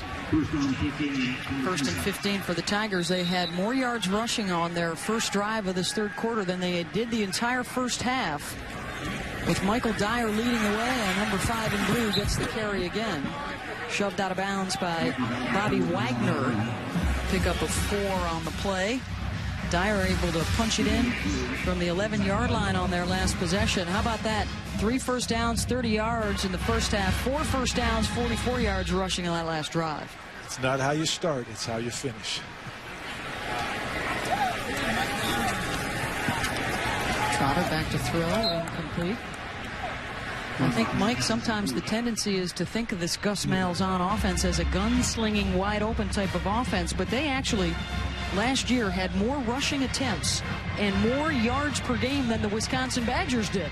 Yeah, they were a running football team with two great runners in both Cam Newton and Michael Dyer, both over a thousand yards in the same backfield. We saw the placards. They're using uh, the symbols now on the sideline to relay plays in, as we're seeing more and more around college football. A couple of former presidents represented on that Auburn sideline. Trotter to the air again. Thought about throwing back across the field. Now tucks it in, and Barrett Trotter held up around the 11 yard line. That was a screen play. He had linemen downfield. He could not throw the ball to anybody else. They covered the back. Yeah, you see the set as it's set up. Those guys are open, but they can't throw the ball because there are linemen downfield. That play would be called back. So even though you got wide open guys, the linemen have already crossed the line. They're down the field on a screen. He's got to scramble and make whatever he can. Those linemen are only able to go a few yards upfield, otherwise they become ineligible when they're running that screen. Stephen Clark will punt it away from his own end zone. Moats and Williams back deep.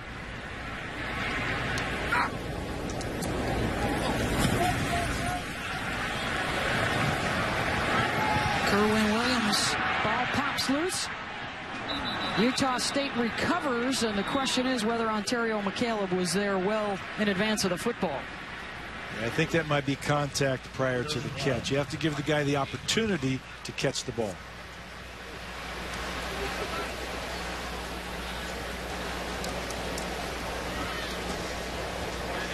Possibility here that this will set Utah State up in Auburn territory.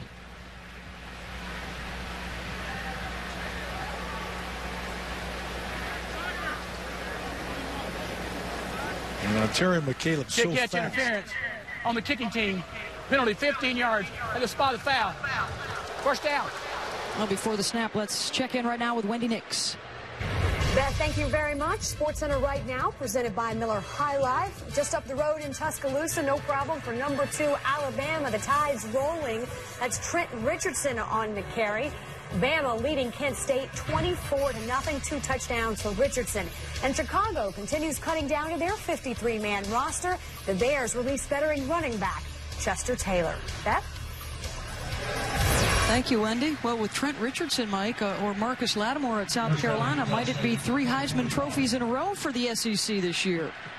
Certainly got a chance. They're gonna they're gonna turn Richardson loose this year. Cam Newton of Auburn won it last year. Mark Ingram two years ago. They'll bunch up the tight ends on the left side. Turbin in the backfield, and Robert Turbin will head for those ends. He's knocked out of bounds and a flag in the backfield. That's typically where they call holding on somebody, but we'll see. They had that cadre of tight ends into the boundaries you said. It's a power running formation, cer- certainly.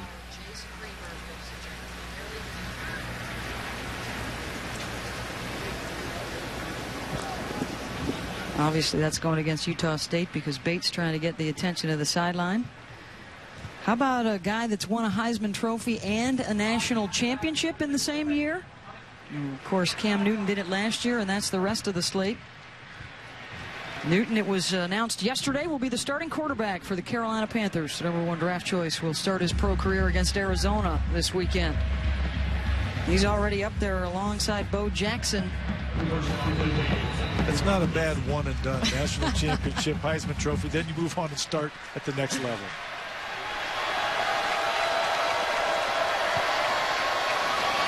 First and long, and the catch by Austin gets by a defender inside the 20-yard line for Matt Austin, who's back from the injury a year ago. That's the guy they look for. They say he's got the best hands. He'll catch the ball in the crowd. He'll make the physical catch. Nice job here. You see him get off the bump there, catch the ball, and then make the first guy miss. Add a lot of tack, a lot of yards on the end of the run. 33 yards on the pickup.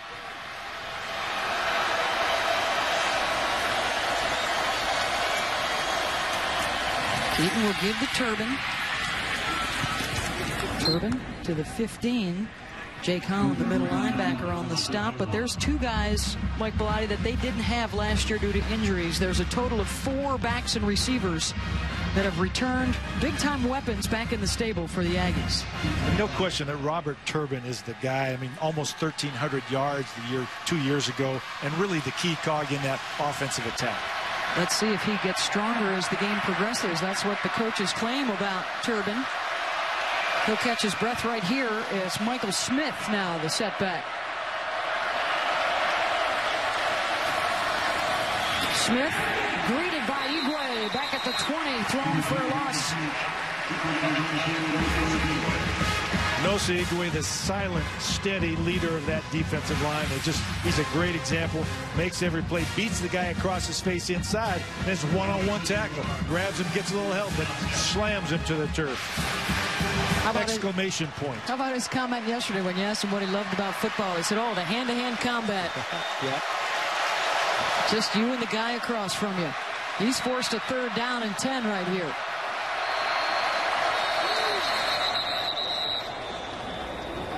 Timeout called by Auburn. Timeout. Auburn. Second timeout of the half. So the Tigers will have just one timeout remaining for the final 20 plus minutes. T'Sharvan Bell called that timeout. He's the leader of that secondary. He plays both corner and nickels. We talked about shaking up early back in the game now, but they really like him, and he can do so much for that defense. Well, tonight, Kellen Moore and the Boise State Broncos begin their BCS charge as they take on Aaron Murray and the Georgia Bulldogs. The Chick-fil-A Kickoff Classic, all a part of Dick's Sporting Goods Kickoff Week on ESPN and ESPN3 Saturday night. Coming up later at 8 Eastern. You can also watch it streaming live on the Watch ESPN app. Beth Mowins, along with former Oregon head coach Mike Bellotti here at Auburn. And Boise State another opportunity to take on one of the big boys to start out the season. It's tough. They got to go back to not quite a neutral site. Kellen Moore is one of the greatest quarterbacks, but they don't have the depth or the explosiveness at wide receiver they've had in the past. Georgia's got a great defensive secondary and great special teams. I, I think it's going to be tough on Boise this year. Great football game, though. Third and 10 for Utah State. Keeton out of the gun. Lemonier trying to corral him. Chuckie Keeton lobs it forward, incomplete.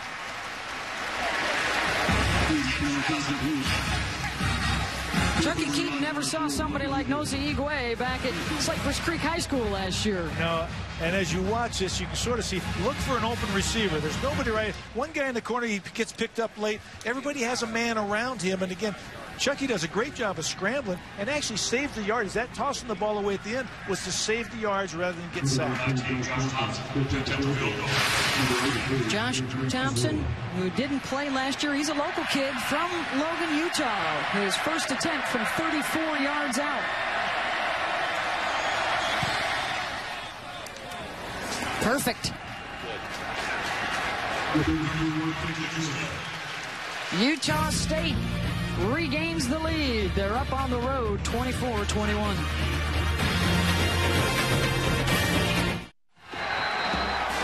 Welcome back to the SEC on ESPN. The defending SEC champion, the defending BCS national champion, in trouble in their season opener. They trail the Aggies of Utah State 24 to 21, just under five minutes to go here in the third quarter. 15 wins in a row, including that 14 0 season last year for the Tigers. The Aggies haven't cared one bit about the resume. They have brought a very experienced team in here and have more than handled their own. Kickoff is headed in the direction of number four, Quan Bray. They have one kick return for a touchdown. They won't get another one here. But for the Aggies of Utah State, they are trying to do something that they have never done in their history, and that's beat a ranked opponent on the road. Their one win versus a ranked opponent was at home against Fresno State 20 years ago before a lot of these guys were even born. They've been close. Last year, they took Oklahoma the fourth quarter within striking distance. So they've been there. Give Gary Anderson kudos for building this program where they can compete with a team like Auburn on the road. Barrett Trotter in his debut as the Auburn Tigers quarterback. They'll set up the receiver screen. They want to get Trovon Reed some space, and he is closed down quickly. Great job by the wide receivers there, continuing to block. It wasn't their guys that made the tackle. It was a pursuit from the inside. But really nice job. I was impressed. I'll tell you what, that's hard. What receivers, they not, they say, I'm not paid to block, guys. Throw me the ball. Trotter will stay on the sideline. For the third time today, we see the Wildcat with Michael Dyer. Dyer's got it. He'll run right.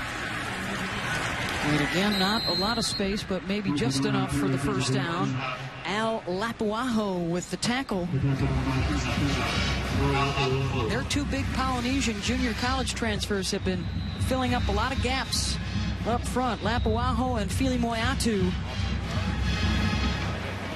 They've got four junior college transfers that have joined the starting lineup for them defensively.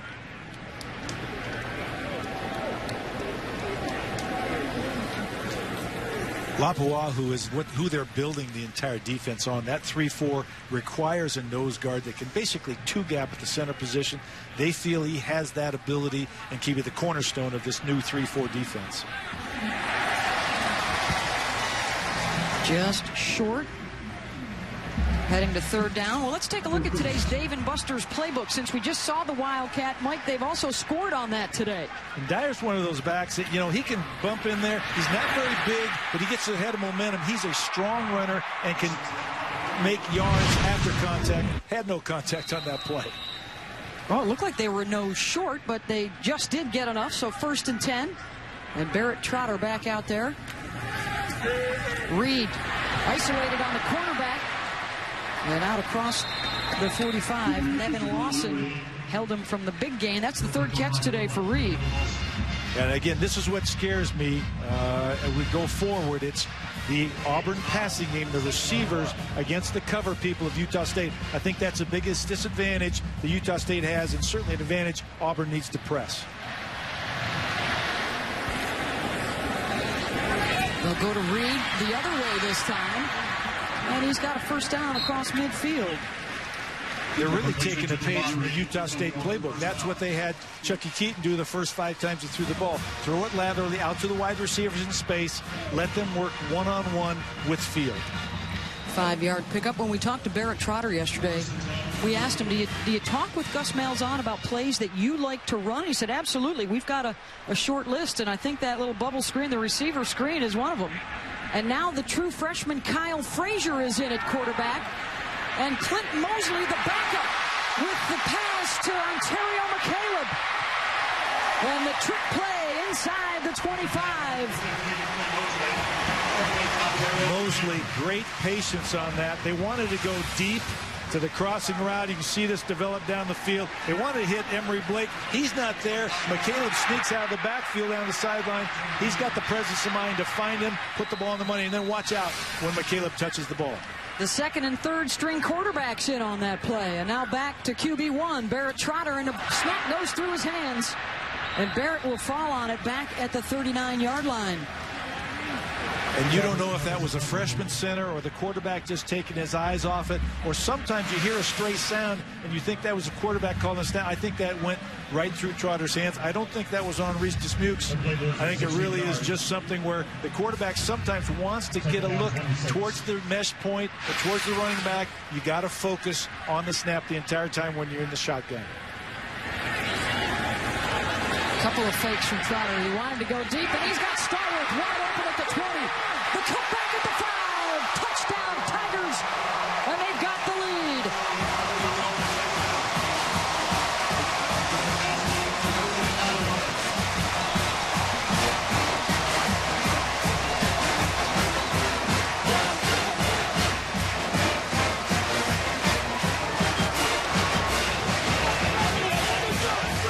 talked about this earlier. I think the biggest mismatch is the Auburn receivers against the secondary of Utah State. And given time, Barrett Trotter, tremendous throw, found the open guy, and then an unbelievable move to get in the end zone untouched. Well, and no disrespect to Barrett Trotter, who made a couple of nice passes on both of his touchdown throws, but it was the speed and the yards after catch from Blake and Stallworth that got them the seven. Absolutely. See it right here. Play action fake just holds holds everybody. He slides in the pocket, which a veteran quarterback will do. Puts it on the money, and then whoa, shake, check that guy's ankles. Fun for a receiver to do that going into the end zone. Well, we hate to say it, but it was Terrell Thompson that might need a new tape job after that cutback from Stallworth. And a sweet move for the junior from Leesville, Louisiana with his first career touchdown catch. Remember, the receiving corps all new this year as well for Auburn. And Barrett Trotter has a couple of touchdown throws in his debut. The guy who was living out the dream, a converted Alabama fan as a kid, but now getting the chance to be out there for the Auburn Tigers. And that was a question mark coming into it with Emory Blake and Travante Stallworth, uh, Trovon Reed, Quinn Carr. You know, those guys, I think they can play. I think Auburn's going to surprise some people. So now how does Utah State respond? They are down for the first time today.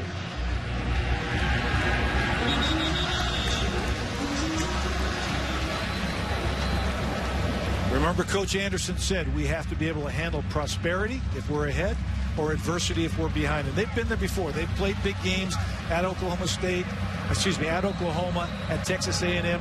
They're in this game. I don't see them folding. However, Auburn is hungry right now, and they're not defending national champions for nothing. They'd love to unleash Kerwynn Williams on a kick return, but again, no chance. Let's send it now back to the studio. Here's Wendy. Beth, thank you. Virginia Tech has lost their last straight, three straight season openers, but the Hokies clearly don't want to lose this one. Logan Thomas to Randall Dunn up 38-0 over Appalachian State at the half. Well, the Tigers have been in trouble at times today. They have come back to take the lead. They had some huge come from behind wins last year, including against Alabama and then beating South Carolina. They took Clemson in overtime. And then they didn't have to come from behind, but they won the national championship on the last second field goal from Wes Byrum over Oregon. Turbin, a lot of room up the middle. 19 yards on the carry. Well, let's take you back to Phoenix and the BCS championship game with Cam Newton at quarterback. As Kodi Burns with the score, and then the last second heroics. Tremendous game, and again, I think Auburn was the better team, no question, and persevered. Great run, though, by Michael Dyer. Still say that was the turning play in the entire game. We talked to uh, Coach Chizik about that and some of the players. Uh, Philip Lutzenkirchen, their tight end, he said our our celebration lasted a couple of weeks. We we had some uh, some time off, and then the parade here in town, and after that, it was back to the weight room. And he said they've moved on. As a team, they've moved on. They understand it. They're proud of it. They recognize it. But again, it doesn't help them win games this year. Keeton completes it to Marks across midfield. Thrown down by Harris Gaston. 12 yards on that pickup. Good for another first down. Sometimes, Mike, can you turn that negative of losing so many guys into a positive because you've got young guys that are hungry and not complacent? Well, and young players really don't read the hype. They're, they they just think they can win. They, now, it doesn't happen by accident. It doesn't happen just by putting on the uniform. You got to make plays. Kerwynn Williams, who had the big touchdown run in the first half inside the 20. By the way, they're not just any freshmen. They are two top five recruiting classes over the last two years that are getting a lot of time today for Auburn. Back to back. But right now, Utah State is opening gaping holes in the Auburn front. Right now, Beth, you and I could have run through that last hole for five yards. I wouldn't want to get hit, but we could have made some yards. You'd be my fullback on that. I'd follow your lead. Well, there were question marks about Carter and Whitaker in the center of that defensive line, and that's where Utah State has been attacking. They go at them again, and this time Eguae came over from the end position to help bottle it up.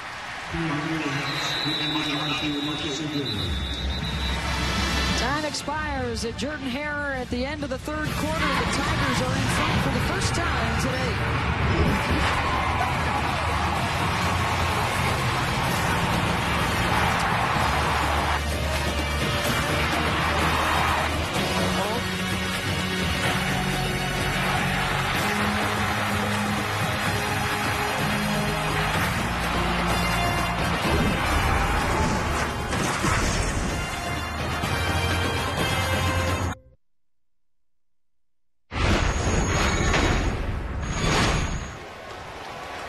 To 24. Auburn with the lead over Utah State as we get set to start the fourth quarter. The Aggies working on a major upset to start out the new year. Third and a couple from the Tigers 40.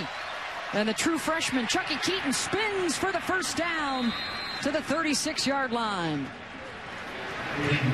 Called his own number, run the speed option. You see him coming off the edge. Blitz is coming, makes it a little bit easier. Should have probably pitched that, but he said, I'm going to keep it. I want to make sure control of the football. And as a true freshman, the biggest thing is that can they make sure they do not turn the ball over or put the ball on the ground.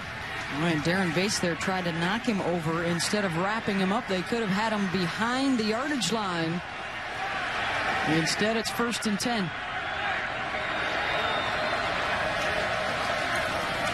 The true freshman Keeton thus far playing turnover-free football.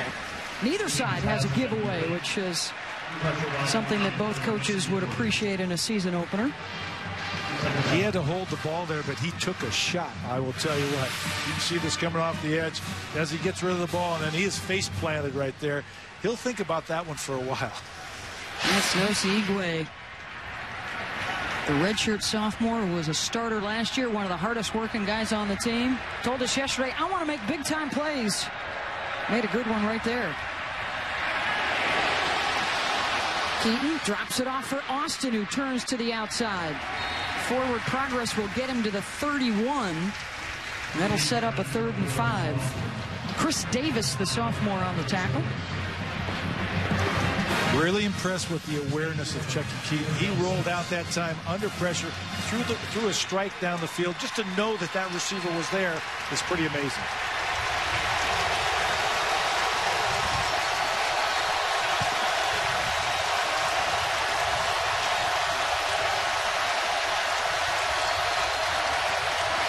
Keeton, quick release, Austin with the slant and another first down. Inside the 25-yard line, they were working on Chris Davis. That's five catches now for Austin. Davis, the best cover guy.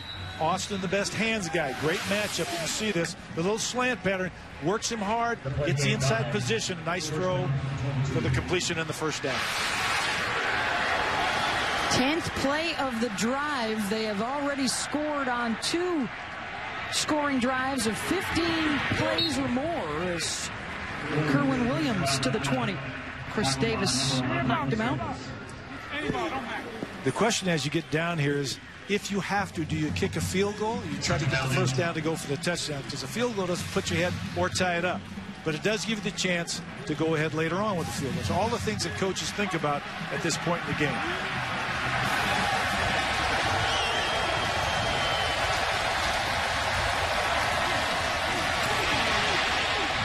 Keeton to Stanley Morrison. Gets away from one guy, and then Dee Ford has him close to another first down. This is an Auburn defense now, coach, that has been on the field for 64 plays already.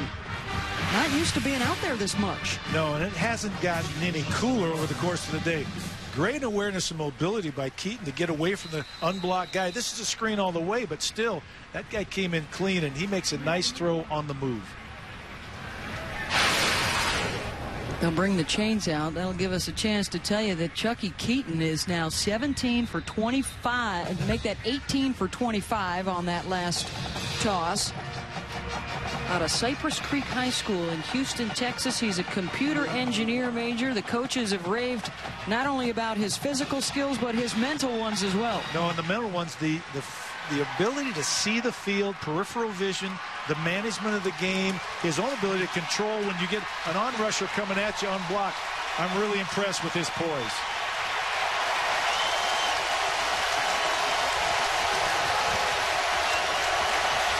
Third and inches.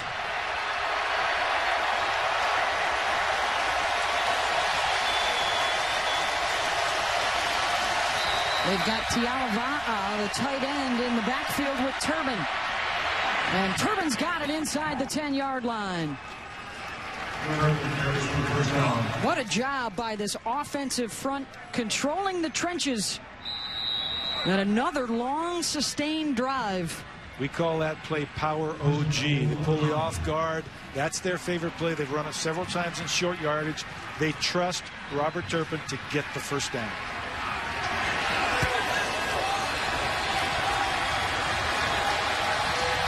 The chains are down, so it's first and goal. Daren Bates showing blitz off the right.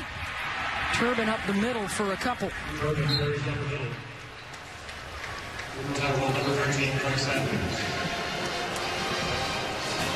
Craig Sanders comes off again. They continue to shuffle in defenders to try and beat the heat. The Aggies, they have one win in their history against an SEC school. That was in 1970 against Kentucky. Trying to double that win total today. Working on one of the biggest in school history right here against the defending champs. Keeton calls his own number again. Chuckie Keeton to the goal line and in. The first career touchdown for the true freshman from seven yards out. And the linesman down in the lower Yeah. part of the screen had his hands up. One official signaled a touchdown. The other may have signaled it down. It'll be interesting to see. They may want to replay this. Look at, yeah, uh, Watch him coming in. There are the arms Yeah. up, but he right now is talking to one of the other officials, they're calling a touchdown. and they have signaled it a touchdown.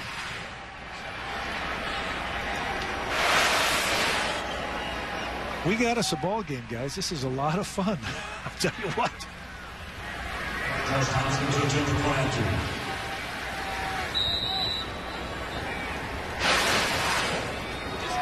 As good as the two quarterbacks were last night in that Baylor TCU game, Chuckie Keeton won't have the same stats, but how about the moxie?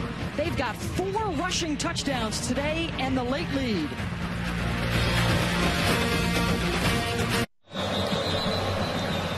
Chuckie Keeton with a couple of rushing touchdowns. They have dominated on the ground and a 31-28 lead with 11-20 to play on the road in the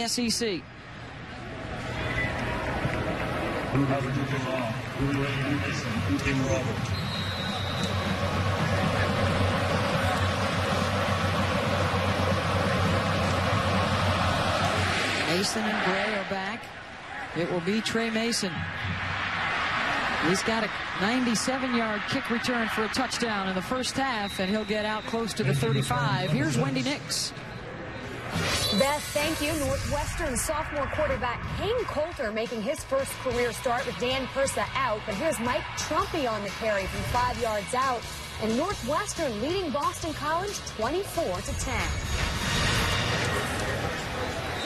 That's a good start for Northwestern and the new revamped Big Ten with uh, Nebraska joining the league this year. Well, especially with Persa out, I thought that was going to really be difficult. But they're Northwestern's a very good football team, and they're a tough preparation. Tre Mason will stay in the backfield now with Trotter. He's the true freshman from Lake Wales, Florida. Fights off a stick right at the line of the scrimmage from Bobby Wagner, and Kyle Gallagher got him around the legs. You know, fans and coaches are only judged by the wins and losses, but the, the quarterbacks today, Keeton and Trotter in their first extended, they're doing a great job. They're really playing very, very well. And they have handled the running game thus far for Auburn. The Tigers have done a better job here in the third quarter, but they were held to just 30 yards rushing in the first half.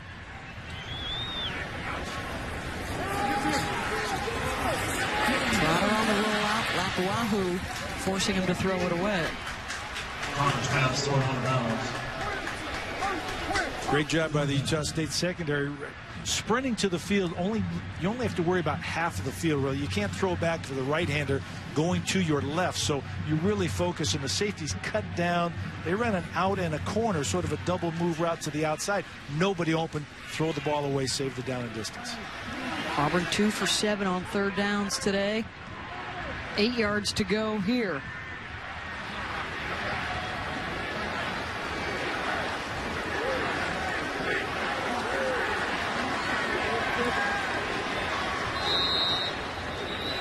And now it's Gary Anderson over on the far side that wants the Timeout. timeout. Utah State. For Utah time the State, they will have two remaining with 10.33 to go, and the Aggies on top.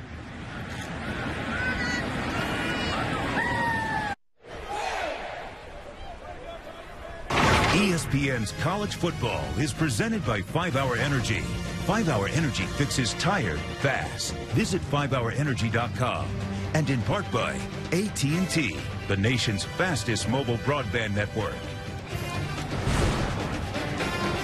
We saw last night on the ESPN networks Baylor upsetting 14th ranked TCU. Utah State working on an even bigger one here at Auburn and a big third down play for the Tigers. Beth Mowins and Mike Bellotti at Jordan Hare Stadium and the defending champs. All that they can handle from the Aggies today. Trotter. And Barrett Trotter gets away from one man, a flag down in the backfield. Trotter still in trouble. And he will go down at the 27-yard line. Caught by Walter McClinton. And Kyle Gallagher with some great pressure and the initial response. Levi Koskan was the man that almost this got penalty him. is. I think it's uh, yeah, it's against uh, Auburn, and they're going to decline it. Great pass rush. This this just they had a guy Number open down the 79 on field. the offense. Penalty declined. Fourth down. That was Koskan that missed on the first chance. Charter again trying to run and find some people, just couldn't get untracked there.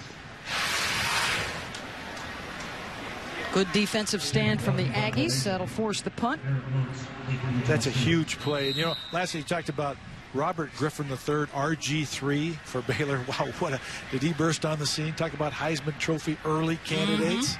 And Casey Pachall didn't do a very bad job either. He brought him back. TCU gave him a chance to win. Fair catch called for by Moats at the 35-yard line. 39 yards on the punt. Utah State with the lead and the ball.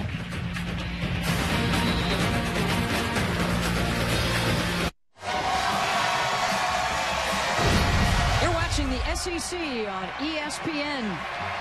And some dicey moments for the defending champs. 10.02 to go, and they trail Utah State 31 to 28. The Aggies with the ball, first and 10. Chuck Jacobs bouncing to the outside to the 40. Picks up about five. Here's what Utah State is working on joining this select group. Only three times in the last 25 years has a defending champion lost its opener the next year. The last time it happened, Notre Dame beat Michigan to start the 98 season.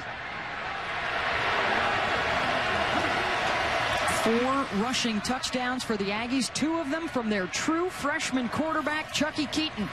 He hands it off to Turbin. And hauling him down from behind was Jonathan Evans. Jonathan Evans did a nice job. He played off the block, came back and almost reached out and tried to strip that ball out. And I'm sure that the Auburn defense is thinking turnover, stops and turnovers.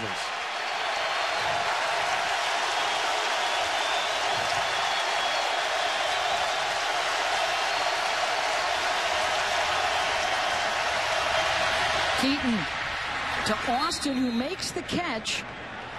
Wrapped up by Neiko Thorpe, but I think the Aggies got a very generous mark. If it's at the 45, it should be enough. Great spot, but it's where the ball was, not where the body was. So again, caught on the outside.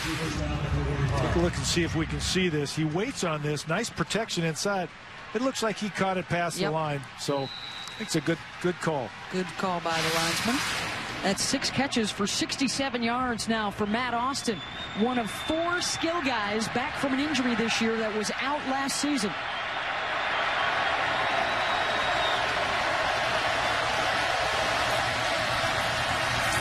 Turbin picks up one. Mm-hmm. Evans again there in the middle to stop it. There was some confusion on the read that time, and one of the things is the defensive end, the quarterback reading that, tries to hold it as long as he can to make the defensive end commit. You can see he's open there. This guy comes down. He's sort of waiting to see. He probably should have given it right off the bat. Unless that guy comes at him, it's a give call. Lots of running room for Morrison. Inside the 30, three guys take him down at the 23-yard line. Another big play after the catch, 31 on the pickup. Great job on the outside. Watch the two receivers block. Both defenders take outside position. The inside linebacker doesn't get there to fill that hole. The receiver just turns up the field, wide open spaces. Morrison, the senior, who was out all of last year with a foot injury. Doctors told him he would never play the game again. And Stanley said, sorry, I've got other plans.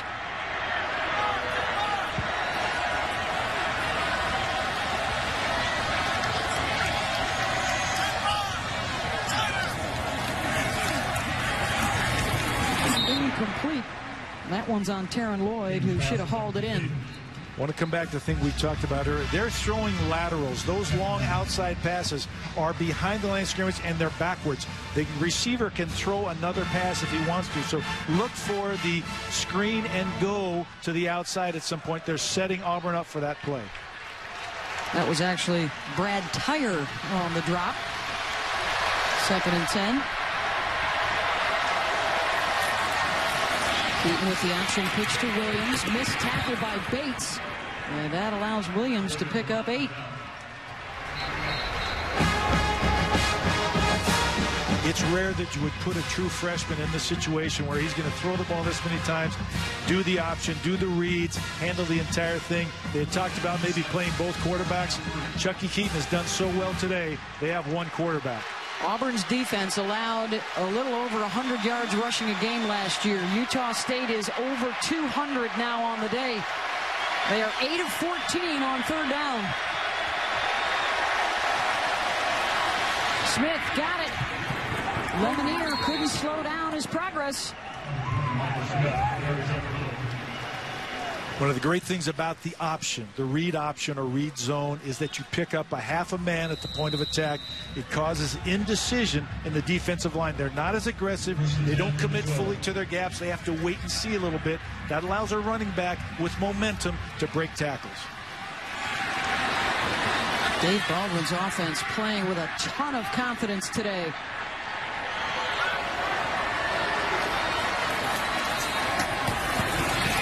Again, they go to the receiver. A little lateral pass. You know, just in case, when I say pick up half a man, that that is because of the option pitch, because you don't know really who's going to carry the ball. It's either the quarterback or the pitch guy. So that's the half a man that the offense picks up at the point of attack in the defense's mind.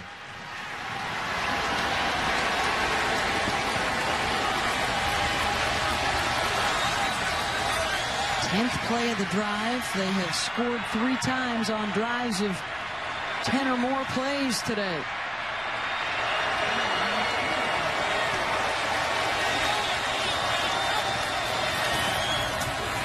Turbin waits for an opening, gets inside the 10. You know, talk about the coordination of this football team. You know, when you trade and shift and then motion, all those things, you have to be the tight ends are very aware. Notice they're looking at the guy to make sure he sets before I go in motion. The quarterback doesn't have to worry about that. That's a veteran team and a very well-coached team.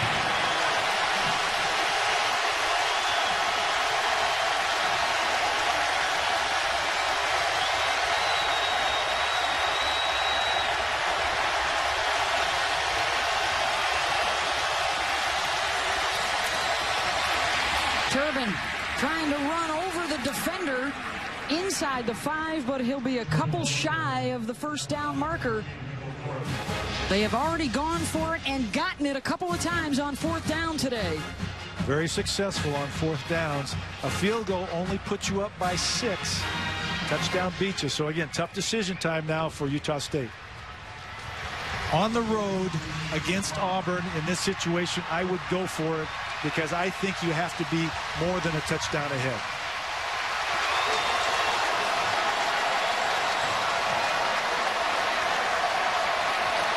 You know there's some serious thinking going on right now on the Aggies sideline.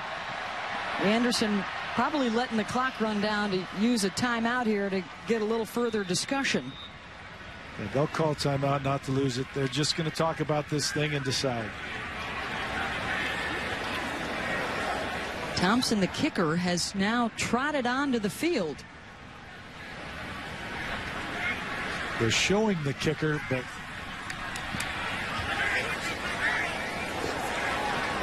It had to be. Well, it had to be a timeout because the clock has stopped. And they didn't move the ball back if it was a delay of game penalty. Not sure what's going on right here. And it is a delay of game, not a timeout.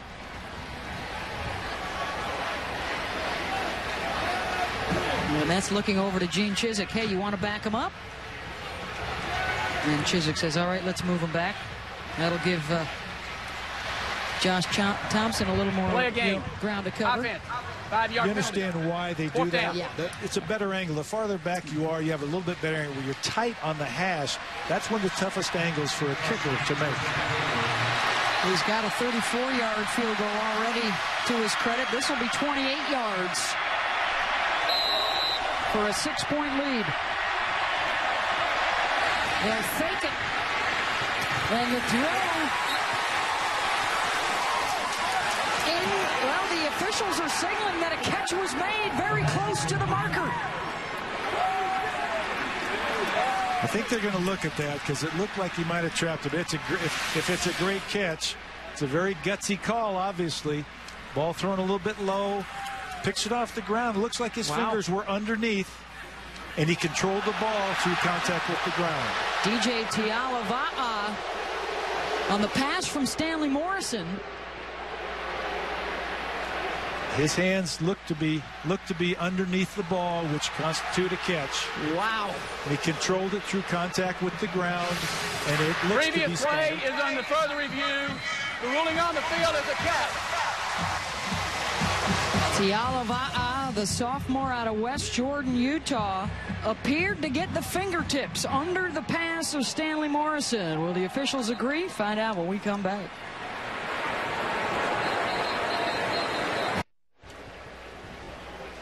Utah State with a three-point lead, and they are trying to keep on the uh, possession of the ball right here with an official review going on on a fourth down pass.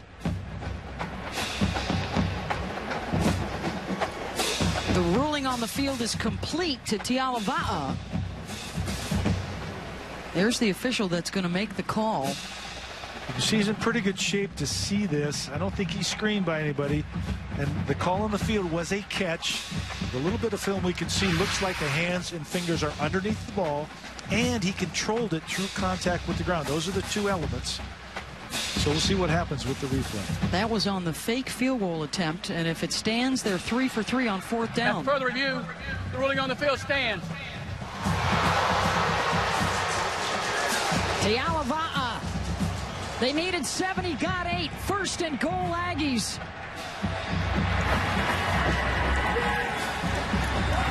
One other concern now for Auburn, depending on what happens from a score standpoint, is they have one timeout left. Four minutes, 17 seconds. The clock is becoming a factor in this game. Utah State has never beaten a ranked opponent on the road in 43 attempts knocking on the door to try and knock out the defending champions. Ball secured. Turbin to the one. Cut down by Lemonier and Holland. They probably will be content right here to pound the ball in, take a lot of time off the clock, hopefully score that touchdown to go ahead by 10 four rushing touchdowns, 229 yards on the ground for Gary Anderson's club, the former defensive coordinator at Utah, who's been on the sideline for a lot of big games in the Mountain West and now at Utah State. None bigger than this. Turbin waits for the opening and finds it. Touchdown, Utah State.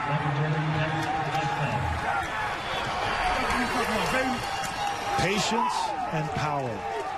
The power of the Utah State line, the patience and experience of the running backs to let the hole develop.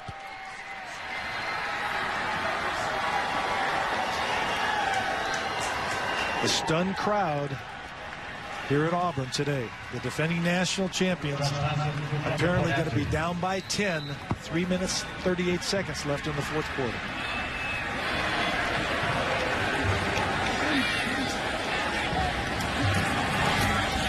Scoring drives today 15 plays, 16 plays, 11 plays. That last drive 14 plays, and they punch it in. Look at the time and the yardage they've eaten up. Utah State has dominated up front all afternoon. Again, nice job here. Great patience. You see the hole in the drive by Turbin, lowering his shoulders. He was not going to be stopped or denied. Big hole right there. Great block by 91 coming across. And again, great push by the offensive line. The fans are quiet. The coaches on the sideline are talking about we've got to score twice. They've got to look at time, how they're going to handle the time part of it in terms of an up-tempo situation, and then probably there's some type of onside kick depending on how much time is going to be left. How about that look right there? The Tiger fans headed for the exits with 3.38 to go, down 10.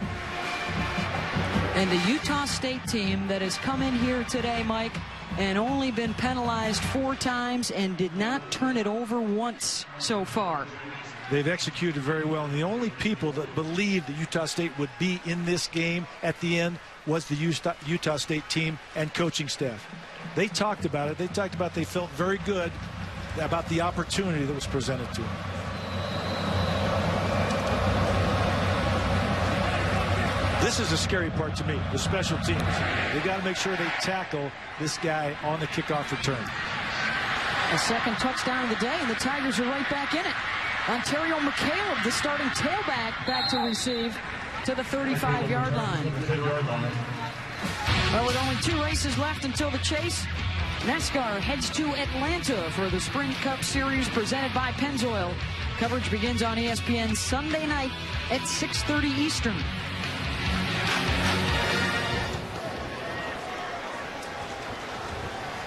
They've talked this week about putting the championship season in their rearview mirror, and it seems a long ways away right now. They've got to work the clock. Quickly, Dyer with the direct snap, and Bobby Wagner wrestles him down. Wildcat, what they're hoping is a big play. They're hoping to spring Michael Dyer. I know the fans don't really like it because they want to see him, Barrett Trotter, throwing the football, and they're probably going to have to go to that right now. Time is becoming a serious factor. They have burned the Aggies on a couple of occasions with the speed at the receiver position. For long touchdown plays, Trotter up top, hauled in by Blake and steps out of bounds to stop the clock. He's at the 45-yard line, pick up a 21. Blake is their go-to guy. He's the guy that Trotter trusts. He's the guy he believes can make the big plays. And I think this is the matchup. They got to exploit the secondary of Utah State. Four wideouts. Under three minutes to go. Trotter to the air against Stallworth. Turns it back inside. Travante Stallworth across the grade. He's got some room down the sideline. Inside the 20-yard line. And they're going to tack on extra yardage out of bounds. And the additional shove after the 25-yard gain. Nevin Lawson, one of their best cover guys. Again, just trying to make sure that the guy gets out of bounds, but you can't do it. Dead ball, personal foul. Number one on the defense. Penalty, half of this to the goal. First down. Any question there you got to pull off. But here's a great job coming back across the grain, picking up some blocks, making people miss, and then getting out of bounds when the clock is a factor.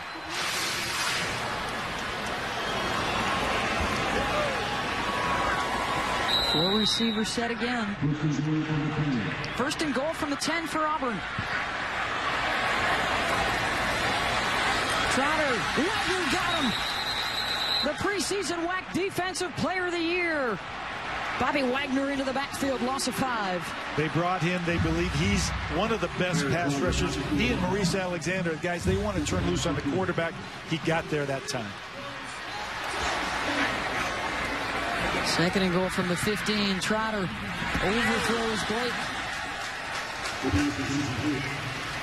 Jumanne Robertson with the coverage.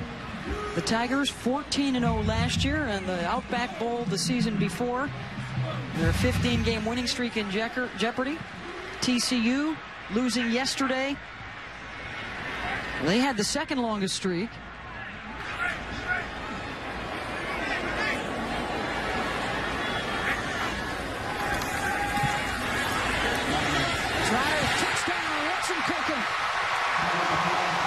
Still plenty of time for the Tigers on the 15-yard strike.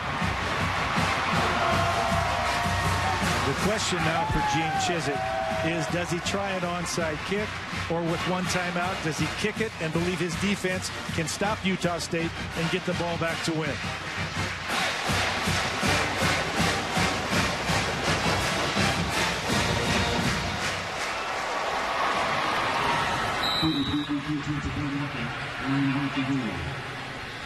Can we get a stopwatch on any of the fans that left? See if they're running a 4-3-40 to get back in here for the final two minutes? Because the Auburn Tigers are back within three points.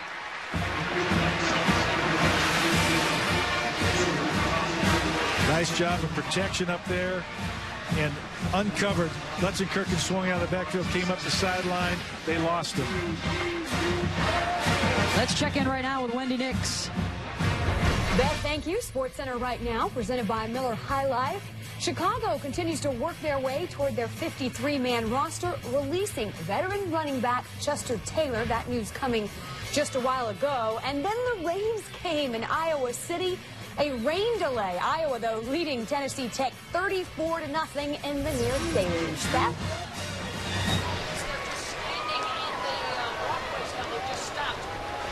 Thank you very much, Wendy.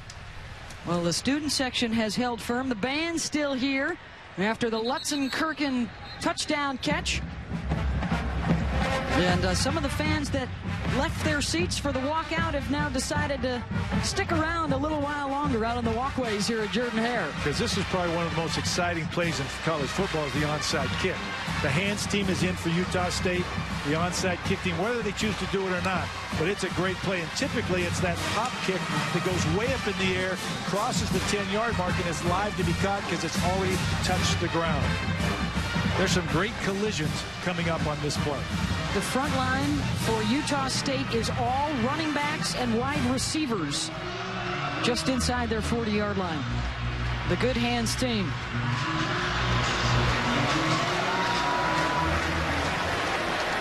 Based on numbers, you would think the ball is going to go to Auburn's left. That's the direction it heads. A high fly. It cannot be advanced, though.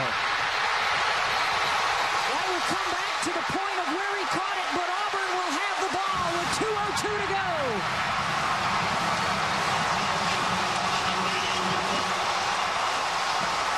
Outstanding execution. The key to this play is the height of the ball in the air off the ground. You watch this, the fake there.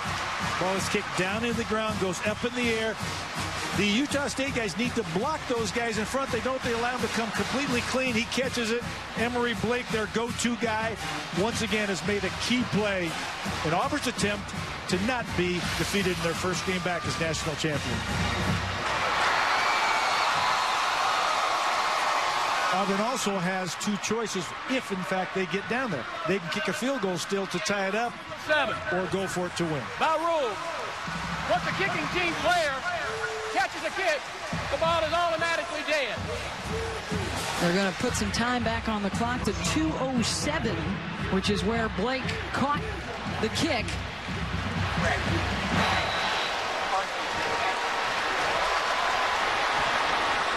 Trotter with time. Stallworth's got it. They are in the Utah State territory inside the 45. Travante Stallworth has become a big play guy today. He's graduated. He's making plays all over the field.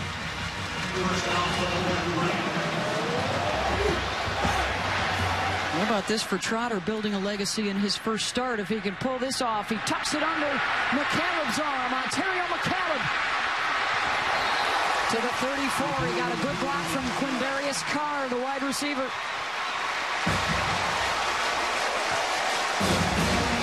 The coaches on the sideline are we, we're still behind. We need to get out of bounds.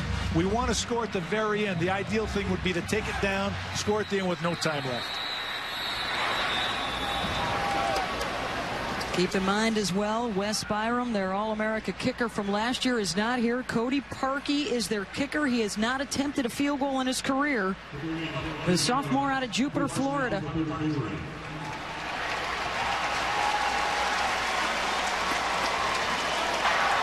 Please put 147 on the game clock. Let's take a look forward for Auburn, brought to you by Sprint, and a tough one coming up with Mississippi State, and then look at their conference road schedule. Ouch. That is a very, very difficult schedule, one of the toughest in the nation.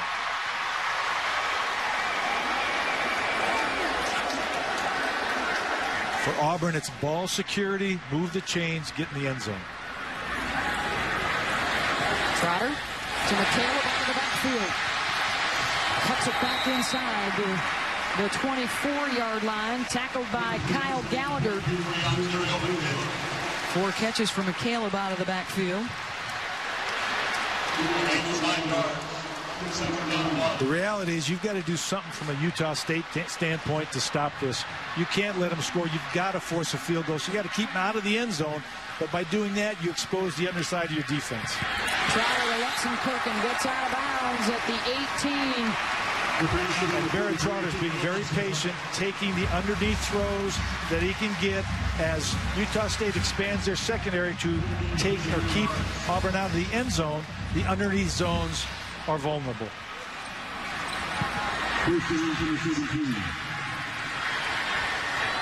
Down 10 late, Auburn trying to rally for the win. Trailed 38-28 with 3.38 to go. The quick strike and the onside kick recovery. Trotter behind Carr incomplete. Utah State coming with the blitz. Auburn counters with the quick pass, which really negates the blitz, and cut blocking up front to get the hands down. So it's it's a guessing game. It's that should I blitz? Should I play zone? Can I get there?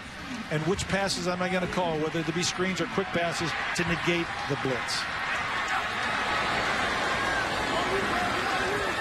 This is the chess match you love to watch as a fan.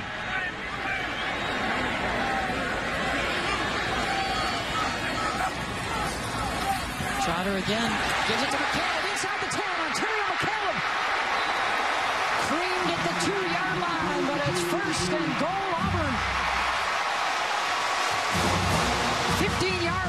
carry from Onterio McCalebb. Now Auburn is in a position to take four cracks at it, take time off the clock, score the touchdown to take the lead. Down to the goal line. Just short. Under a minute and running.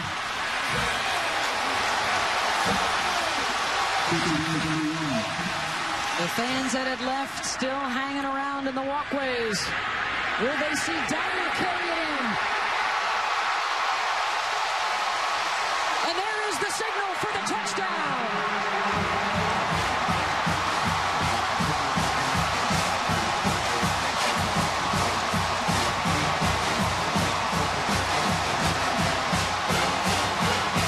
This extra point is going to mean something because, again, tacking on the extra point takes away the opportunity that Utah State can tie it with a field goal. Really would put the nail in the coffin. Now it's disbelief from the Aggie fans. 60 seconds ago, they had a 10-point lead. And Auburn with two scores in the last 59 seconds. Dyer ducks under the pile, and you it's hard to tell there. I think he's definitely in the end zone. you get a better look from up top. Goes down below, lowers his pads. Oh, tough to tell. And I'll tell you, I'm not sure you can tell if his knee was down. The ball didn't cross till late. He extended it out there. Hard to hard to follow in that pileup. And Mike, I think that's going to be one of those where the the ruling on the field is going to be tough to turn because of our inability to see Dyer's knee. I agree. Unless there's a different view, you can't tell what part knee, hip, anything is down. He does extend the ball. The ball ends up in the end zone.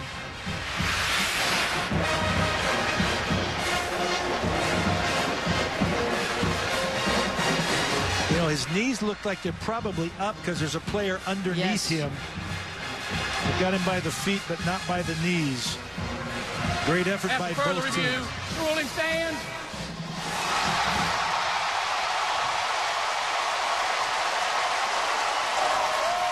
What a comeback by Auburn. In the last minute and a half, a couple of touchdowns.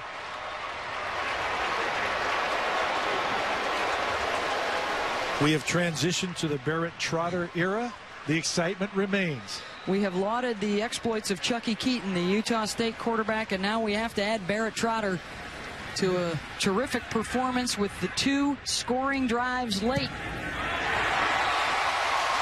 And now the Aggies must get six to win it. 14 points scored late. A touchdown with 131 to go, and now a touchdown with 30 seconds to play. And a reminder coming up later tonight on ABC, Oregon and LSU, the Cowboys Classic from Dallas. It's all part of Dick's Sporting Goods kickoff week. College football lives here.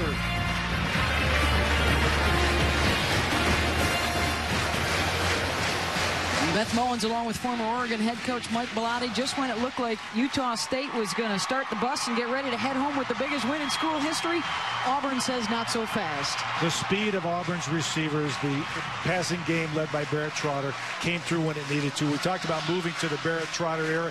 They had some magic in a bottle last year. Maybe they still have the genius, not Cam Newton, but it might be Barrett Trotter. You've been talking the last few days that we've been here how important special teams would be, and a special teams play recovering the onside onside kick critical here for Auburn down the stretch.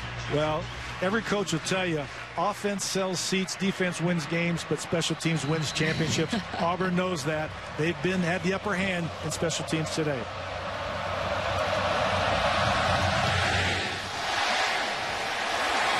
Williams will watch it go over his head. And the true freshman, Chuckie Keeton, has 30 seconds to go 80 yards for the upset. 30 seconds, two timeouts. They need some big plays. Typically, it's going to involve like seam routes, trying to find the vertical seams inside, or deep corner routes that can catch the ball for 20 plus yards and get out of bounds. The secondary for Auburn will be in somewhat of a prevent concept, meaning nothing behind them. If they throw underneath, tackle the guy inbounds.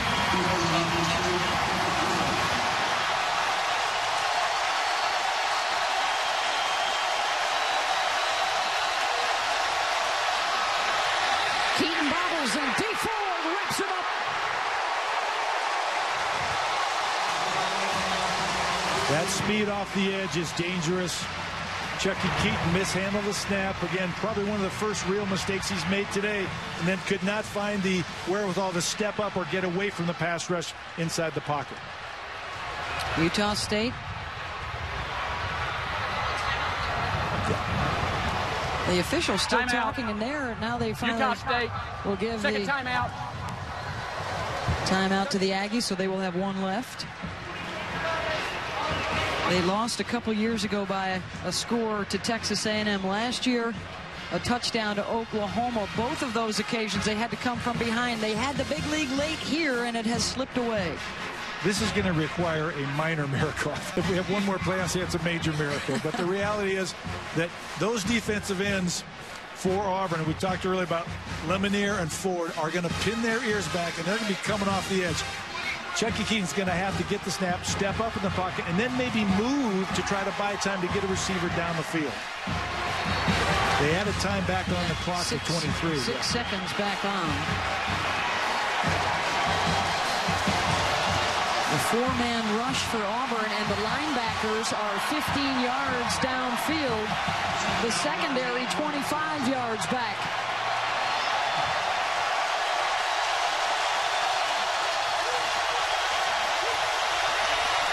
Here comes Ford again.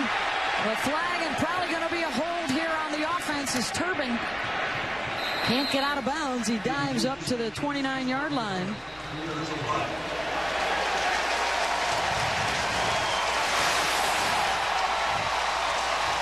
As I said, these guys are coming so hard, so fast. It's really difficult for a tackle to handle that kind of athlete in space on the edge. This is important too now for Utah State that the clock had been stopped there because, you know, with the new rule this year about the 10-second runoff with a penalty in the final couple of minutes, but the clock was stopped prior to the snap. As the officials talk about where exactly the spot of the ball will be. Holding number 66 on the offense. 10 yards from the previous spot. Second down. Had the clock been running before the snap, Auburn could have also taken the 10-second penalty. Now we're talking about that major miracle I was speaking. Your own six-yard line, 14 seconds, no timeout, and you've got to score a touchdown. You practice these kind of plays, but you got to make them up.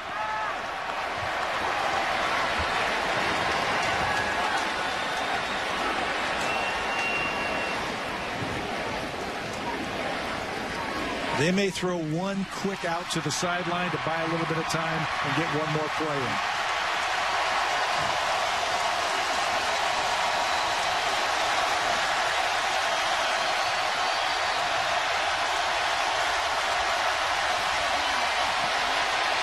Keeton steps up. Incomplete. Still a couple of ticks left.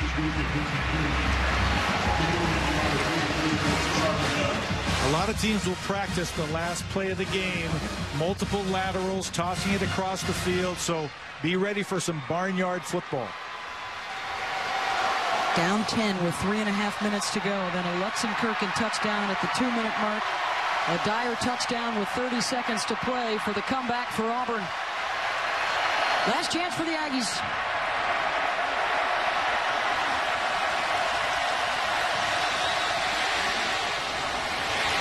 They'll try the screen for 90 plus yards. They will not cover that much ground. Big comeback in the final three and a half minutes for the Auburn Tigers as they erase a 10-point deficit. And the defending champs win their season opener. They got to sweat it out, but they get the W 42 to 38.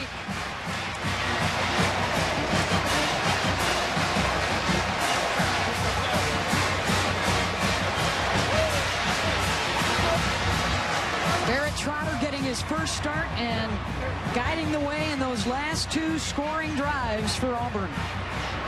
Barrett Trotter 17 of 23 today for 261 and three T's, but most importantly, no turnovers. Great management of the game.